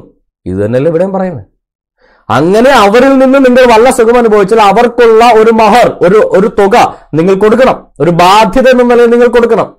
ബാധ്യത നിശ്ചയിച്ചതിന് ശേഷം അതായത് മുൻകൂട്ടി പറഞ്ഞുറപ്പിക്കണം എത്രയാണ് തുകയെന്ന്. നിങ്ങൾ അന്യോന്യം തൃപ്തിപ്പെട്ട് തന്നെ വിട്ടുവീഴ്ച ചെയ്താൽ കുഴപ്പമൊന്നുമില്ല. ഇതിനെയാണ് വ്യഭിചാരം എന്ന് മലയാളത്തിൽ പറയാറ്. അല്ല ഇതിന് വേറെ എന്തെങ്കിലും വാക്ക് മലയാളത്തിൽ ഉണ്ടോ എന്ന് എനിക്കറിയില്ല. ഇതിനെയാണ് വ്യഭിചാരം എന്ന് മലയാളത്തിൽ പറയാറ്. അപ്പോ ഇത്തരത്തിലുള്ള ദുർമാർഗങ്ങളെ പ്രൊമോട്ട് ചെയ്യുന്ന ഇത്തരത്തിലുള്ള ദുർമാർഗങ്ങൾ നിലവിലുള്ള അല്ലെ അത്തരം ആയത്തുകളുള്ള ഈ ഒരു പുസ്തകത്തിന്റെ സന്മാർഗിക ക്രമം കിടയറ്റതാണെന്ന് നിറ്റ് ഓഫ് ട്രൂത്ത് പ്രചരിപ്പിച്ചാൽ അതിനെ വ്യക്തമായിട്ട് തുറന്നു കാണിക്കേണ്ട ഒരു ബാധ്യത ഞങ്ങൾക്കുണ്ട്. കാര്യം പ്രത്യേകിച്ച് എന്റെയൊക്കെ പേജിൽ കൊണ്ടുവന്ന ഇത് ഖുറാൻ സന്മാർഗിക ക്രമമാണ് എന്ന് നിങ്ങൾ പറഞ്ഞാൽ അതല്ല എന്ന് തെളിയിക്കേണ്ട ഒരു ബാധ്യത എനിക്കുണ്ടല്ലോ. അല്ലാതെ ആരെങ്കിലും എന്തെങ്കിലും വ്യാജം പറഞ്ഞാൽ അതങ്ങ് അംഗീകരിച്ച് നമുക്ക് മുന്നോട്ട് പോകാൻ പറ്റത്തില്ലല്ലോ. എന്റെ പേജിൽ കൊണ്ടുവന്നിട്ടുണ്ടാട്ടോ ഞാൻ മറുപടി പറയുന്നത്. അല്ലാതെ നിങ്ങളുടെ മസ്ജിദിൽ പ്രസംഗിച്ച കാര്യത്തിന് മറുപടി പറയേണ്ട ബാധ്യത എനിക്കില്ല. എന്റെ പേജിൽ കൊണ്ടുവന്ന് സജീർ ബാബു ഈ സാധനം കൊണ്ടുവന്ന് പേസ്റ്റ് ചെയ്തു. ഖുറാൻ പ്രചാന പ്രദാനം ചെയ്യുന്ന സന്മാർഗിക ക്രമം കിടയറ്റതാണെന്നുള്ള ഈ പറയുന്ന നിച്ച് ഓഫ് ട്രൂത്തിന്റെ പോസ് ഇത് കൊണ്ടുവന്ന് കാണിച്ചു. ഇതാണ് ആ പോസ്റ്റർ അപ്പോ ഈ പോസ്റ്റർ കൊണ്ട് എന്റെ പേജിൽ കൊണ്ടു ഇട്ടത് കൊണ്ടാണ് അതിന് ഞാൻ മറുപടി പറയേണ്ടി വരുന്നത്. അല്ലാതെ ഇതൊരു മത നിന്നയായിട്ട് നിങ്ങൾ ആരും കണക്കാക്കിയിട്ട് കാര്യമില്ല. ഇതൊരു മറുപടി മാത്രമാണ് നിങ്ങൾ കൊണ്ടുവന്നിട്ടുള്ള മറുപടി. അപ്പോൾ സന്മാർഗീയ ക്രമം കിടയേറ്റാണെന്ന് പറഞ്ഞാൽ ഇത്തരത്തിലുള്ള വ്യഭിചാരത്തെ പ്രൊമോട്ട് ചെയ്യുന്ന സന്മാർഗീയ ക്രമം. ബൈബിളിന്റെയൊക്കെ സന്മാർഗീയ ക്രമം അനുസരിച്ച് വ്യഭിചാരം പാപമാണ്. അത് ആര് ചെയ്താലും അത് പാപമാണ്. അതിപ്പോ ദാവീതി ചെയ്താലും ഏതവൻ ചെയ്താലും അത് പാപമാണ്. അത് വ്യഭിചാരം പാപമാണ്. അന്യന്റെ ഭാര്യയെ മോഹിക്കരുത്. അത് പാപമാണ്. അത് വ്യക്തമായിട്ട് പഠിപ്പിക്കുന്നതാണ് ബൈബിൾ. അല്ലാതെ നിങ്ങൾക്ക് ഇഷ്ടപ്പെട്ട പെണ്ണിന്റെ അടുക്കൽ ചെന്ന് പൈസ കൊടുക്കാം സുഖം അനുഭവിക്കാം പോരാ. ബാധ്യതയായിട്ട് കുറച്ച് കാശ് കൊടുത്താൽ മതി എന്ന് പറയുന്ന അത് വിട്ടുവീഴ്ചയൊക്കെ ആവാം. എല്ലാ കാര്യത്തിലും പൈസ കൊടുത്താൽ ബാധ്യത നിശ്ചയിച്ചതിന് ശേഷം നിങ്ങൾക്ക് അന്യോന്യം തൃപ്തിപ്പെട്ട് വിട്ടുവീഴ്ചയാകാം എന്ന് പറയുന്ന തരത്തിലുള്ള ദുർമാർഗീയ ക്രമം ബൈബിൾ പഠിപ്പിക്കാറില്ല. അപ്പൊ ഇത് കിടയറ്റ സന്മാർഗീയ ക്രമമാണെന്ന് പറയുന്ന നിച്ച് ഓഫ് ട്രൂത്ത് അവരുടെ ഇടയിൽ പിന്തുടരുന്ന ക്രമം എന്തായിരിക്കുമെന്ന് നിങ്ങൾ തന്നെ ഊഹിക്കുക. അതായത് നിച്ച് ഓഫ് ട്രൂത്തിന്റെ ആ സംഘടനക്കകത്ത് അവർ പുലർത്തുന്ന സന്മാർഗീയ ക്രമമാണ് നമ്മളിവിടെ കാണുന്നത്. അപ്പോൾ ആ സംഘടനയുടെ പ്രസക്തിയും ആ സംഘടനയുടെ സന്മാർഗീയ ചിന്തയും ആ സംഘടനയുടെ സന്മാർഗബോധവും ആ സംഘടനയുടെ മൊറാലിറ്റിയും എത്രത്തോളം ഉണ്ടെന്ന് നിങ്ങൾ തന്നെ ഒന്ന് ഊഹിച്ചു നോക്കുക. ഇനി അവരുടെ അടുത്ത അവകാശവാദമാണ് നാലാമത്തെ അവകാശവാദമാണ് ഖുറാൻ പ്രായോഗികമായ ഗ്രന്ഥമാണ്. ഖുറാൻ പ്രായോഗികമായ ഗ്രന്ഥമാണ്. നമുക്കൊന്ന് പരിശോധിക്കാം. ഖുറാൻ ശരിക്കും പ്രായോഗികമായ ഗ്രന്ഥമാണോ? സൂറ ഖിയാമ എഴുപത്തി അഞ്ചാമത്തെ സൂറ. ഖിയാമത്ത് എന്ന് പറയുന്ന സൂറ. അതിന്റെ പതിനേഴ് മുതൽ പത്തൊമ്പത് വരെയുള്ള ആയത്തുകൾ നിങ്ങളൊന്ന് പരിശോധിച്ച് നോക്കുക സൂറ ഖിയാമ അതിന്റെ പതിനേഴ് മുതൽ പത്തൊമ്പത് വരെയുള്ള ആയത്തൊന്ന് പരിശോധിക്കുക തീർച്ചയായും അതിന്റെ സമാഹരണവും ഓതിത്തരലും നമ്മുടെ ബാധ്യതയാകുന്നു. അങ്ങനെ നാം അത് ഓതിത്തന്നാൽ നീ ആ ഓത്ത് പിന്തുടരുക. പിന്നെ അത് വിവരിച്ചു തരലും നമ്മുടെ ബാധ്യതയാകുന്നു. അതായത് ഖുറാന്റെ ക്രോഡീകരണം കമ്പൈലേഷൻ അതിന്റെ ക്രോഡീകരണം അള്ളാഹുവിന്റെ ബാധ്യതയാണ്. അല്ലാതെ മനുഷ്യരുടെ ബാധ്യതയല്ല. ആ ഓത്ത് ഓതി ഞാൻ തന്നാൽ ആ ഓത്ത് പിന്തുടരുക എന്നുള്ളത് മനുഷ്യരുടെ ബാധ്യതയാണ്. പക്ഷെ ആ ഓത്തുകളെല്ലാം ക്രോഡീകരിക്കുക എന്നുള്ളത് മനുഷ്യന്റെ ബാധ്യതയല്ല. പിന്നെ അത് വിവരിച്ചു തരലും നമ്മുടെ ബാധ്യതയാവുന്നു ഇത് ഈ ആയത്ത് പോലും പ്രായോഗികമല്ല. അള്ളാഹുവിനെ കുറിച്ച് പറയുന്ന ഈ ആയത്ത് പോലും പ്രായോഗികമല്ല. അപ്പോഴാണ് ഖുറാൻ പ്രായോഗിക പുസ്തകമാണെന്ന് ഈ നിച്ച് ഓഫ് ട്രൂത്ത് പറയുന്നത്. അതായത് ഈ ആയത്ത് പ്രായോഗികമാക്കാൻ മുസ്ലിങ്ങൾക്കോ അള്ളാഹുവിനോ പോലും കഴിഞ്ഞിട്ടില്ല. കാരണം ഖുറാൻ ക്രോഡീകരിച്ചതാരാ അള്ളാഹു ആണോ? അല്ല. മുഹമ്മദ് ആണോ ഇനി? അല്ല. ജിബ്രീലാണോ? അല്ല. ഖുറാൻ ക്രോഡീകരിച്ചത് സയ്യിദ് ബിൻ സാബിത്ത് ആണ് ഖുറാൻ ക്രോഡീകരിക്കുന്നത്. നിങ്ങൾക്ക് സുന്ന ഡോട്ട് കോമിൽ നിന്ന് ഇവരുടെ മുസ്ലിങ്ങളുടെ തന്നെ ഔദ്യോഗിക വെബ്സൈറ്റായ സുന്ന ഡോട്ട് കോമിൽ നിന്ന് സഹീഹ് ബുഖാരിയുടെ ഹദീസുകളിൽ നിന്ന് അതിന്റെ മൂന്നാമത്തെ ചാപ്റ്ററിൽ ദ കളക്ഷൻ ഓഫ് ഖുറാൻ എന്ന് പറയുന്ന ഒരു പോർഷൻ ഉണ്ട്. Narrated by Zaid bin Sabit ഇതിനകത്ത് നിങ്ങൾ നോക്കിക്കഴിഞ്ഞാൽ നിങ്ങൾക്ക് കാണാം യമാമ യുദ്ധത്തിൽ പരാജയപ്പെട്ട ഇമാമ യുദ്ധത്തിൽ അനേകം സഹാബികളും ഖുറാക്കളും ഖുറാൻ മനപ്പാടമാക്കിയിട്ടുള്ള അനേകം സഹാബികൾ യമാമ യുദ്ധത്തിൽ മരിച്ചുപോയി. അപ്പൊ യമാമ യുദ്ധത്തിൽ അങ്ങനെ മരിച്ചുപോയി കഴിഞ്ഞപ്പോ അന്നത്തെ ഉമറിന് വലിയ ടെൻഷനായി. നിങ്ങൾക്ക് ഇവിടെ കാണാം. Umar has come to me and said casualties were heavy among qurra of the Quran അതായത് ഖുറാൻ അറിയാവുന്ന ഖുറാൻ മനഃപ്പാടമാക്കിയ ആളുകൾ മരിച്ചുപോയി അവിടെ അവരുടെ ഇടയിൽ നിന്ന് അനേകം കാഷ്വാലിറ്റികൾ അനേകം മരണങ്ങൾ ഉണ്ടായി ഈ യമാമ യുദ്ധത്തിൽ. അവരുടെ ഇടയിൽ നിന്ന് അനേകം മരണങ്ങൾ ഉണ്ടായി. അപ്പോ അതിനകത്ത് അവർ ബ്രാക്കറ്റ് ചെയ്തിരുന്ന that is these who know Quran by heart Quran കാണ മനഃപ്പാടമായിരുന്ന ഖുറാക്കളിൽ പലരും മരിച്ചുപോയി യമാമ യുദ്ധത്തിൽ. On the day of Battle of Yamama. And I am afraid that more heavy casualties may take place among the Gurra on other battlefield. ഇനി വരുന്ന യുദ്ധങ്ങളിലും അനേകം ഗുറാക്കൾ മരിച്ചു പോകുമെന്ന് ഞാൻ ഭയപ്പെടുന്നു. Whereby a large part of the Quran may be lost അതുകൊണ്ട് ഒരു ബഹുഭൂരിപക്ഷം വരുന്ന ഖുറാന്റെ ഭാഗങ്ങൾ നശിച്ചു പോകും എന്ന് ഈ ഉമർ ഭയപ്പെടുകയാണ്. അതായത് ഇതിന്റെ ഓഡിറ്ററിലും സമാഹരണവും ആരുടെ ബാധ്യതയാണെന്ന് പറഞ്ഞ് അള്ളാഹിന്റെ ബാധ്യത. ഇവിടെ ഉമർ ടെൻഷൻ അടിക്കുകയാണ്. ഈ സംഭവം എല്ലാം നഷ്ടപ്പെട്ടു പോകുമല്ലോ. ഈ ഗുറാക്കളെല്ലാം മരിച്ചു വരുമ്പോൾ ഈ സാധനം എല്ലാം നഷ്ടപ്പെട്ടു പോകുമല്ലോ. ഇതിനകത്ത് ഒരു രസം ഏതെങ്കിലും ഒരു ഒരു ഖുറാൻ യുദ്ധത്തിന് വിടാതിരുന്നാൽ പോരെ പ്രശ്നം കഴിഞ്ഞില്ലേ? ഈ ഖുറാൻ അറിയാവുന്ന ഒരു സഹാബിനെ യുദ്ധത്തിന് വിടാതെ ഖുറാൻ മുഴുവൻ മനഃപ്പാടമായിട്ടുള്ള ഒരു സഹാബിനെ യുദ്ധത്തിന് വിടാതെ പിടിച്ച് വീട്ടിലിരുത്തിയ പ്രശ്നം കഴിഞ്ഞു. അത് ചെയ്യല കാര്യം എന്താണെന്നറിയോ? ഖുറാൻ പൂർണമായി മനഃപ്പാടമാക്കിയ ആരും തന്നെ ഇല്ല കാര്യം അങ്ങനെ ഉണ്ടായിരുന്നെങ്കിൽ ഏതെങ്കിലും ഒരാളെ പിടിച്ച് വീട്ടിലിരുത്തിയാൽ പ്രശ്നം കഴിഞ്ഞല്ലോ. എന്നിട്ട് അവരെ കൊണ്ടൊന്ന് എഴുതിച്ചാൽ പോരെ പ്രശ്നം കഴിഞ്ഞല്ലോ. അല്ല ആരെ കണ്ടെങ്കിലും ഇവരെ കൊണ്ട് പറയിപ്പിച്ചിട്ട് ആരെ കൊണ്ടെങ്കിലും എഴുതിച്ചാൽ പോരെ? ഇത്ര വലിയ പുസ്തകമൊന്നുമല്ലല്ലോ ഈ ഖുറാൻ എന്ന് പറയുന്നത്. ഒരു വലിയ എന്താ പറയുക നമ്മുടെ വിലാസനിയുടെ അവകാശികൾ എന്ന് പറയുന്ന നോവൽ കണ്ടിട്ടുണ്ടോ നിങ്ങൾ? ഇത്രയും വലിയ ബുക്കാണ്. അങ്ങനത്തെ ഒരു ആറോ ഏഴോ വോളിയം ഉണ്ടെന്ന് പറഞ്ഞു. ഞാൻ ഒരു മൂന്നാലെണ്ണം വായിച്ചിട്ട് എനിക്ക് ഭ്രാന്തായി നിർത്തിയതാണ് കാരണം ഇത്രയും വലിയ പുസ്തകം ഇത്രയും കട്ടിയുള്ള എ ഫോർ ഷീറ്റിനേക്കാൾ എ വലിയൊരു പുസ്തകം അത്രയും കട്ടിയുള്ള ഒരു അഞ്ചോ ആറോ വാല്യം ഉണ്ടെന്ന് തോന്നുന്നു. എന്റെ എന്റെ ഓർമ്മ ഞാൻ ഒരു മൂന്നെണ്ണം വായിച്ചിട്ടുണ്ട്. അവകാശികൾ എന്ന് പറയുന്നത് വിലാസിനികൾ എം കെ മേനോന്റെ ഒരു നോവലുണ്ട്. മലയാളത്തിലെ ഏറ്റവും വലിയ നോവല. അതൊന്നും അല്ലല്ലോ ഖുറാൻ ഒരു ചെറിയ പുസ്തകം ഒരു സാധാരണ ഒരു പുസ്തകം അത്രേ ഉള്ളൂ. അപ്പോൾ ഇത് ഒരു ഖുറാക്കൾക്ക് ഖുറാക്കളിൽപ്പെട്ട ഒരാൾക്കെങ്കിലും ഇത് കാണാപ്പാടം മുഴുവൻ അറിയാമെങ്കിൽ അദ്ദേഹത്തിന് ഒരാളങ്ങ് പ്രൊട്ടക്ട് ചെയ്തപ്പോൾ അദ്ദേഹത്തെ ബാറ്റിൽ ഫീൽഡ് വിടാതിരിക്കുക പ്രശ്നം കഴിഞ്ഞല്ലേ പക്ഷെ അല്ല കാര്യം എന്തുകൊണ്ടാ? എല്ലാം എല്ലാവർക്കും അറിയില്ല. കുറേയൊക്കെ കുറെ പേർക്ക് അറിയാം.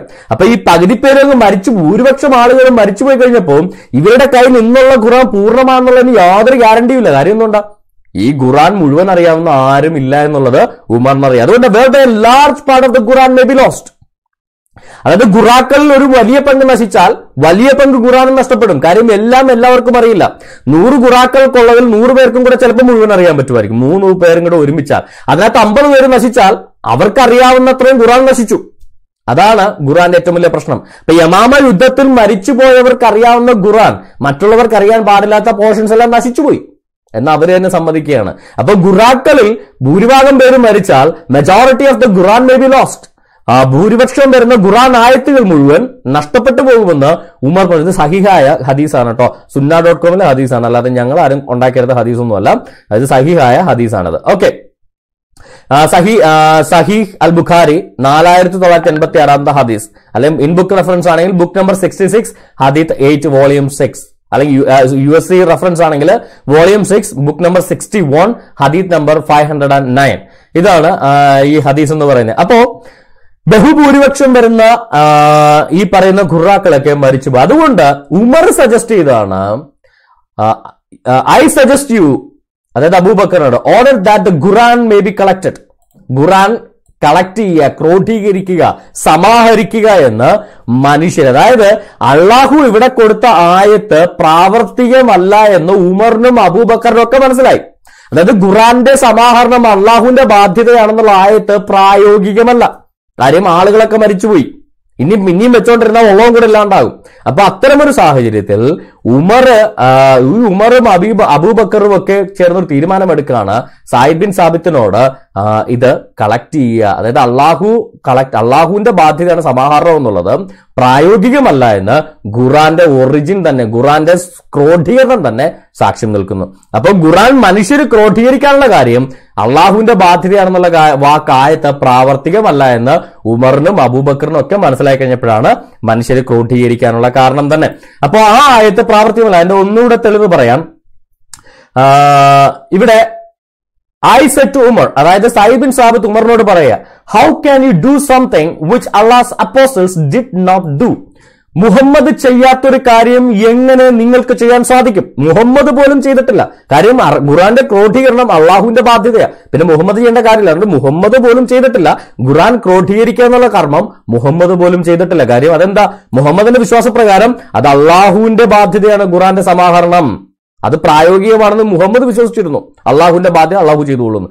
പക്ഷെ ഇവിടെ മുഹമ്മദ് പോലും ചെയ്യാത്ത കാര്യം ചെയ്യാൻ നിങ്ങൾക്ക് എങ്ങനെ ധൈര്യം വരുന്നു എന്നാ പറയുന്നത് അതിന് ഉമറിന്റെ അഭിപ്രായമാണ് by Allah this is a good project Umar ഒരു പ്രവാചകനല്ല. ഉമർ ദൈവമായിട്ട് സംസാരിച്ചിട്ടില്ല. ജിബ്രിലിനെ കണ്ടിട്ടുമില്ല. യാതൊരു വിധത്തിലുള്ള ദൈവിക ആയത്തുകൾ ഉമറിന് വന്നിട്ടില്ല.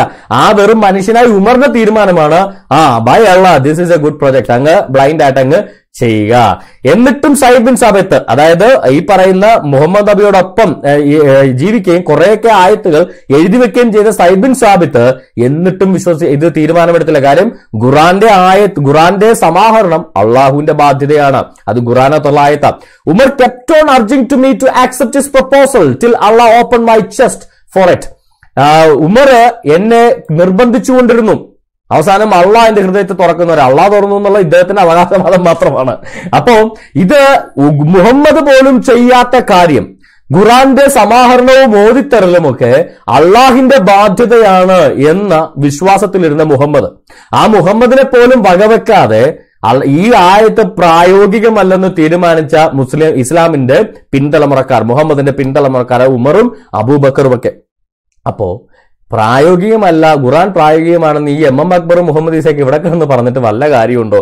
ഖുറാൻ ക്രോഡീകരിച്ചപ്പോൾ തന്നെ ഖുറാൻ പ്രായോഗികമല്ലതിന്റെ ഏറ്റവും വലിയ തെളിവാണ് ഖുറാന്റെ ക്രോഡീകരണം. ഇനി സോറി ക്ഷമിക്കണം. അപ്പോ ഖുറാൻ പ്രായോഗികമല്ല എന്നുള്ളതിന്റെ ഏറ്റവും വലിയ തെളിവാണത് അല്ലാഹു ഖുറാൻ ക്രോഡീകരിച്ചിട്ടില്ല. ഈ ആയത്ത് പ്രായോഗികമാണെങ്കിൽ സൈബിൻ സാബിത്ത് ഖുറാൻ ക്രോഡീകരിക്കേണ്ട യാതൊരു കാരണവും ഇല്ലായിരുന്നു എന്നുള്ളതാണ് സത്യം. ഇനി രണ്ടാമത്തെ ഖുറാൻ പ്രായോഗികമാണെന്നുള്ളതിന്റെ രണ്ടാമത്തെ ഒരു ആയത്ത് നമുക്ക് നോക്കാം. സൂറ രണ്ട് അൽ ബഖ്റ നൂറ്റി പതിനേഴാമത്തെ ആയത്ത്. ഇല്ലായ്മയിൽ നിന്ന് ആകാശഭൂമികളെ ഉണ്ടാക്കിയവനാണ്. അവനൊരു കാര്യം തീരുമാനിച്ചാൽ ഉണ്ടാകുക എന്ന വചനം മതി. അതോടെ അതുണ്ടാകുന്നു. ഇതാണ് അള്ളാഹുവിന്റെ ആയത്ത്. ഈ ആയത്ത് പോലും പ്രായോഗികമല്ല. അള്ളാഹുവിന് പോലും പ്രായോഗികമല്ല. എന്തുകൊണ്ടാ? ആദത്തെ ഉണ്ടാക്കിയ സമയത്ത് ഉണ്ടാവോ എന്ന് പറഞ്ഞപ്പോൾ ആദം ഉണ്ടായോ? ഇല്ല. എന്താ ചെയ്തേ? കളിമണ്ണ് കൊണ്ട് രൂപം ഉണ്ടാക്കി എന്നിട്ട് അതിനെ ജീവിപ്പിക്കുകയോ ചെയ്തത് ഇനി ഈസാ നബീനെ ഇവരുടെ ഈസാ നബീനെ സൃഷ്ടിച്ച സമയത്ത് ഉണ്ടാവും എന്ന് പറഞ്ഞപ്പോ ഈസാ നബി ഉണ്ടാകണം അല്ല. പുള്ളിയുടെ ഒരു റൂഹിനെ മനുഷ്യവേഷം കെട്ടിച്ച് ഭൂമിയിൽ വിടണം. അങ്ങനെ മനുഷ്യരൂപത്തിൽ റൂഹ് വന്നിട്ട് റൂഹ് ദാനം കൊടുക്കണം. അള്ളാഹു റൂഹിനകത്തിരുന്നു കൊണ്ട് മറിയത്തിലേക്ക് ഊതണം. അങ്ങനെ ഊതിയിട്ട് അങ്ങനെ ഊതിയാലും ഉണ്ടായില്ല. അങ്ങനെ ഊതിക്കഴിഞ്ഞപ്പോ അള്ളാഹുവിൽ നിന്നുള്ള ഒരു ആത്മാവും ഒരു അള്ളാഹുവിന്റെ ഒരു കലിമയും വന്ന് ഒരു മനുഷ്യനായി തീർന്നു എന്ന് നമുക്കവിടെ കാണാൻ സാധിക്കും. അപ്പോ ഉണ്ടാവുക എന്ന് പറഞ്ഞാൽ അപ്പൊ തന്നെ ഉണ്ടാകുന്നു എന്നുള്ള ഖുറാനായത്ത അള്ളാഹുവിന് പോലും പ്രാവർത്തികമല്ല. അപ്പൊ അള്ളാഹുവിന് പോലും പ്രായോഗികമല്ലാത്ത ഈ പറയുന്ന ഖുറാനാണോ താങ്കൾ പ്രായോഗികമാണ് എന്ന് പറഞ്ഞ് നടക്കുന്നത്. അതൊരിക്കലും യുക്തിസഹമല്ലല്ലോ നിച്ച് ഓഫ് ട്രൂത്തെ ഇനി നമുക്ക് നോക്കാം ഇത് ഖുറാൻ പ്രായോഗികമാണോ? ആലു ഇമ്രാൻ മൂന്നാമത്തെ സൂറ അതിന്റെ നൂറ്റിപ്പത്തും നൂറ്റി പതിനൊന്നും ആയത്തുകൾ. മനുഷ്യവംശത്തിനു വേണ്ടി രംഗത്ത് കൊണ്ടുവരപ്പെട്ട ഉത്തമ സമുദായമാകുന്നു നിങ്ങൾ മുസ്ലിങ്ങളെ. മനുഷ്യവംശത്തിനു വേണ്ടി രംഗത്ത് കൊണ്ടുവരപ്പെട്ട ഉത്തമ സമുദായമാണ് അറബികളും മുസ്ലിങ്ങളും. നിങ്ങൾ സദാചാരം കൽപ്പിക്കുകയും ദുരാചാരത്തിൽ നിന്ന് വിലക്കുകയും അള്ളാഹുവിൽ വിശ്വസിക്കുകയും ചെയ്യുന്നു. സദാചാരം നമ്മൾ കണ്ടായിരുന്നു. അപ്പോ തൊട്ട് മുന്നത്തെ ഇതിനകത്ത് നമ്മൾ കണ്ടായിരുന്നല്ലോ എന്താണ് സന്മാർഗീയ ക്രമം എന്ന് അതാണ് ഈ പറയുന്നത് നിങ്ങൾ സദാചാരം കൽപ്പിക്കുകയും ദുരാചാരത്തിൽ നിന്ന് വിലക്കുകയും അള്ളാഹുവിൽ വിശ്വസിക്കുകയും ചെയ്യുന്നു. വേദക്കാർ വിശ്വസിച്ചിരുന്നുവെങ്കിൽ അതവർക്ക് ഉത്തമമായിരുന്നു. വേദക്കാർ അത് വിശ്വസിച്ചില്ലെന്നാണ് വേദക്കാരെ സംബന്ധിച്ചിടത്തോളം വ്യഭിചാരം പാപമാണ്. കാര്യം വ്യഭിച- വ്യഭിചാരം ചെയ്യരുത് മോഷ്ടിക്കരുതൊക്കെ പത്ത് കൽപ്പനയപ്പെട്ടാണ് വേദക്കാർക്ക്. വേദക്കാർ എന്ന് പറഞ്ഞാൽ യഹൂദന്മാരാണ്. അപ്പൊ യഹൂദന്മാരെ സംബന്ധിച്ചിടത്തോളം വ്യഭിചാരം പാപമാണ്. ഇവരുടെ ഈ സന്മാർഗീയ ക്രമത്തിനകത്ത് യഹൂദന്മാർക്ക് നിൽക്കാൻ പറ്റത്തില്ല. പൈസ കൊടുത്ത് ലൈംഗിക സുഖം തേടുന്ന പരിപാടി യഹൂദന്മാർക്ക് പറ്റില്ല കാര്യം പത്ത് കൽപ്പന പ്രകാരം യഹോവയുടെ യാഹുവയുടെ കൽപ്പന പ്രകാരം അത് പാപമാണ്. അപ്പോ ഇവരുടെ സന്മാർഗീയ ക്രമത്തിലും ഇവർ കൽപ്പിക്കുന്ന സദാചാരത്തിൽ യഹൂദന്മാർക്ക് നിൽക്കാൻ പറ്റില്ല. അപ്പോൾ നിങ്ങൾ സദാചാരം കൽപ്പിക്കുകയും മുസ്ലിങ്ങൾ ഇസ്ലാം മതം സദാചാരം കൽപ്പിക്കുകയും ദുരാചാരത്തിൽ നിന്ന് വിലക്കുകയും അല്ലാഹുവിൽ വിശ്വസിക്കുകയും ചെയ്യുന്നു. യഹൂദന്മാർ അഥവാ വേദക്കാർ വിശ്വസിച്ചിരുന്നുവെങ്കിൽ അത് അവർക്ക് ഉത്തമമായിരുന്നു. അവർക്ക് അത്തരത്തിലുള്ള ഉത്തമത്വം വേണ്ടാത്തതുകൊണ്ട് വ്യഭിചാരം ചെയ്യാൻ താല്പര്യമില്ലാത്തതുകൊണ്ട് അവർ അത് വിശ്വസിച്ചില്ല. അവരുടെ കൂട്ടത്തിൽ വിശ്വാസമുള്ളവരുണ്ട്. അവരുടെ കൂട്ടത്തിലും ഇത്തരം പണി ചെയ്യുന്നവരൊക്കെയുണ്ട് എന്നാൽ അവരിൽ അധികം പേരും ധിക്കാരികളാവുന്നു. യഹൂദന്മാരിൽ അധികം പേരും ധിക്കാരികളാണ്. ചില്ലറ ശല്യമല്ലാതെ നിങ്ങൾക്ക് ഒരു ഉപദ്രവം വരുത്തുവാൻ അവർക്കാവില്ല ആർക്കാവില്ല യഹൂദന്മാർക്കാവില്ല. ഇനി അവർ നിങ്ങളൊരു യുദ്ധത്തിൽ ഏർപ്പെടുകയാണെങ്കിൽ ഏർപ്പെടുകയാണെങ്കിൽ തന്നെ അവർ പിന്തിരിഞ്ഞോടുന്നതാണ്. പിന്നീട് അവർക്ക് സഹായം ലഭിക്കുകയുമില്ല. ഈ ആയത്ത് പ്രായോഗികമാക്കാൻ ചെന്ന അറബ് രാഷ്ട്രങ്ങളുടെ ഗതി സിക്സ് ഡേ വാർ ഓർമ്മയുള്ള ഏതെങ്കിലും മനുഷ്യരുണ്ടെങ്കിൽ അവർക്കറിയാൻ പറ്റും. നിങ്ങൾ സിക്സ് ഡേ വാർ എന്ന് കേട്ടില്ല സകല മുസ്ലിം രാഷ്ട്രങ്ങളും ജോർദാൻ സൗദി തുടങ്ങി സകല മുസ്ലിം രാഷ്ട്രങ്ങളും കൂടെ ഒരുമിച്ച് ഇസ്രായേലിനെ തകർക്കാൻ വേണ്ടി ഈ യഹൂദന്മാരെ തകർക്കാൻ വേണ്ടി ഈ ആയത്ത് പ്രായോഗികമാണെന്നുള്ള ധാരണയിൽ ഈ ഖുറാൻ പ്രായോഗികമാണെന്നുള്ള ധാരണയിൽ ഈ ആയത്ത് പ്രായോഗികമാക്കാൻ വേണ്ടി ചെന്ന കഥ നിങ്ങൾ ആരെങ്കിലും വായിച്ചിട്ടുണ്ടോ? എല്ലാ അറബ് രാഷ്ട്രങ്ങളും കൂടെ ഇസ്ലാ ഈ ഇസ്രായേലിനെ യഹൂദനെ വളഞ്ഞ് ആക്രമിക്കാൻ ചെന്നിട്ട് ഈ ആറ് ദിവസത്തെ യുദ്ധം കൊണ്ട് അറബ് രാഷ്ട്രങ്ങളുടെ നട്ടലൊടിഞ്ഞെന്നുള്ള സത്യം. പിന്തിരിഞ്ഞു പോവുകയും അനേക അറബി സോൾജിയേഴ്സിനെ അറബ് രാഷ്ട്രങ്ങളുടെ പല ആയിരക്കണക്കിന് പട്ടാളക്കാര് ഈ യഹൂദന്മാരെ ക്യാപ്ചർ ചെയ്യുകയും ചെയ്തു. അവരെ തടവിലാക്കുകയും ചെയ്തു. അറബ് രാഷ്ട്രങ്ങളുടെ ഗാസ സ്ട്രിപ്പ് അടക്കമുള്ള സ്ഥലങ്ങളൊക്കെ യഹൂദന്മാർ പിടിച്ചടക്കിയത് ഈ പറഞ്ഞ ഇത്തിരി മാത്രം ഉണ്ടായിരുന്ന യഹൂദന്മാരുടെ രാജ്യം. അവരെ സമ്പത്ത് കൊടുത്ത് വിലക്ക് വാങ്ങിച്ച ഏക്കർ കണക്ക് മാത്രം ഉണ്ടായിരുന്ന യഹൂദന്മാരുടെ രാജ്യം ഒരു വിശാലമായ രാജ്യമാക്കി തീരാൻ സഹായിച്ചത് ഈ ആറ് ദിവസം ആറ. അപ്പൊ ഈ ഖുറാനായിട്ട് പ്രായോഗികമല്ലെന്ന് അന്ന് യുദ്ധത്തിന് പോയ അറബികൾക്ക് വരെ വ്യക്തമായിട്ട് മനസ്സിലായി. അന്ന് യുദ്ധത്തിന് പോയ മുസ്ലിം രാഷ്ട്രങ്ങൾക്ക് വ്യക്തമായിട്ട് മനസ്സിലായി. ഈ ആയത്തും കൊണ്ട് പ്രായോഗികമാണെന്ന് പറഞ്ഞ് യഹൂദന്മാരുടെ യുദ്ധത്തിന് ചെന്നാൽ നമ്മളായിരിക്കും പിന്തിരിഞ്ഞ് ഓടുന്നത്. അല്ലാതെ യഹൂദന്മാരെ പിന്തിരിഞ്ഞ് ഓടൂല എന്ന്. ഒരു ഇത്തിരിയുള്ള രാഷ്ട്രം പുതുതായി ഉണ്ടായ രാഷ്ട്രം സൈനിക ശക്തി ഇല്ലാത്ത രാഷ്ട്രം ഈ രാഷ്ട്രത്തിനെതിരെ നൂറ്റാണ്ടുകൾ പഴക്കമുള്ള അനേക സൈനിക ശക്തിയുള്ള ജോർദാൻ അടക്കമുള്ള ഈജിപ്റ്റ് അടക്കമുള്ള എല്ലാ രാജ്യങ്ങളും കൂടെ ഒരുമിച്ച് അതിനെ തകർക്കാൻ വന്നിട്ട് പിന്തിരിഞ്ഞോടിയതാരാ? ഈ ഖുറാൻ പറയുന്ന പോലെ യഹൂദന്മാരാണോ പിന്തിരിഞ്ഞോടി അല്ല. മുസ്ലിങ്ങൾ രാഷ്ട്രങ്ങളെല്ലാം കൂടെ പിന്തിരിഞ്ഞ് നാണം കെട്ട് ഓടി യുദ്ധം അവസാനിപ്പിക്കേണ്ട ഗതികേടുണ്ടായി. അങ്ങനെയാണ് ഇസ്ലാം ഈ യഹൂദ രാഷ്ട്രം ഇസ്രായേൽ രാഷ്ട്രം ഇത്രത്തോളം എസ്റ്റാബ്ലിഷ് ആകാൻ കാരണം ഇതാണ്.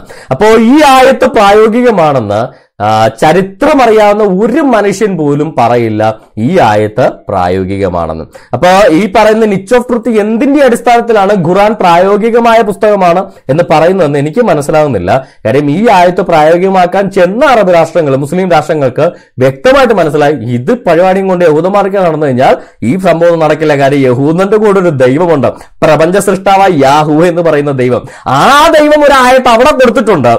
നിന്റെ മേൽ എതിർക്കപ്പെടുന്ന സകല കരത്തെയും ഞാൻ അടിച്ചിരുത്തുമെന്ന് ആ ദൈവം ഒരു ആയത്ത് കൊടുത്തിട്ടുണ്ട്. നിന്റെ എതിരി നിനക്കായി വരുന്ന ശത്രുക്കൾ ചിന്നിച്ചെതിറിപ്പോകുമെന്ന് ഹോമയുടെ നാമത്തിൽ നീ അവരെ നേരിട്ടാൽ അവർ ചിന്നിച്ചെതിറിപ്പോകുമെന്ന് ഒരായത്ത് അവർക്ക് കൊടുത്തിട്ടുണ്ട്.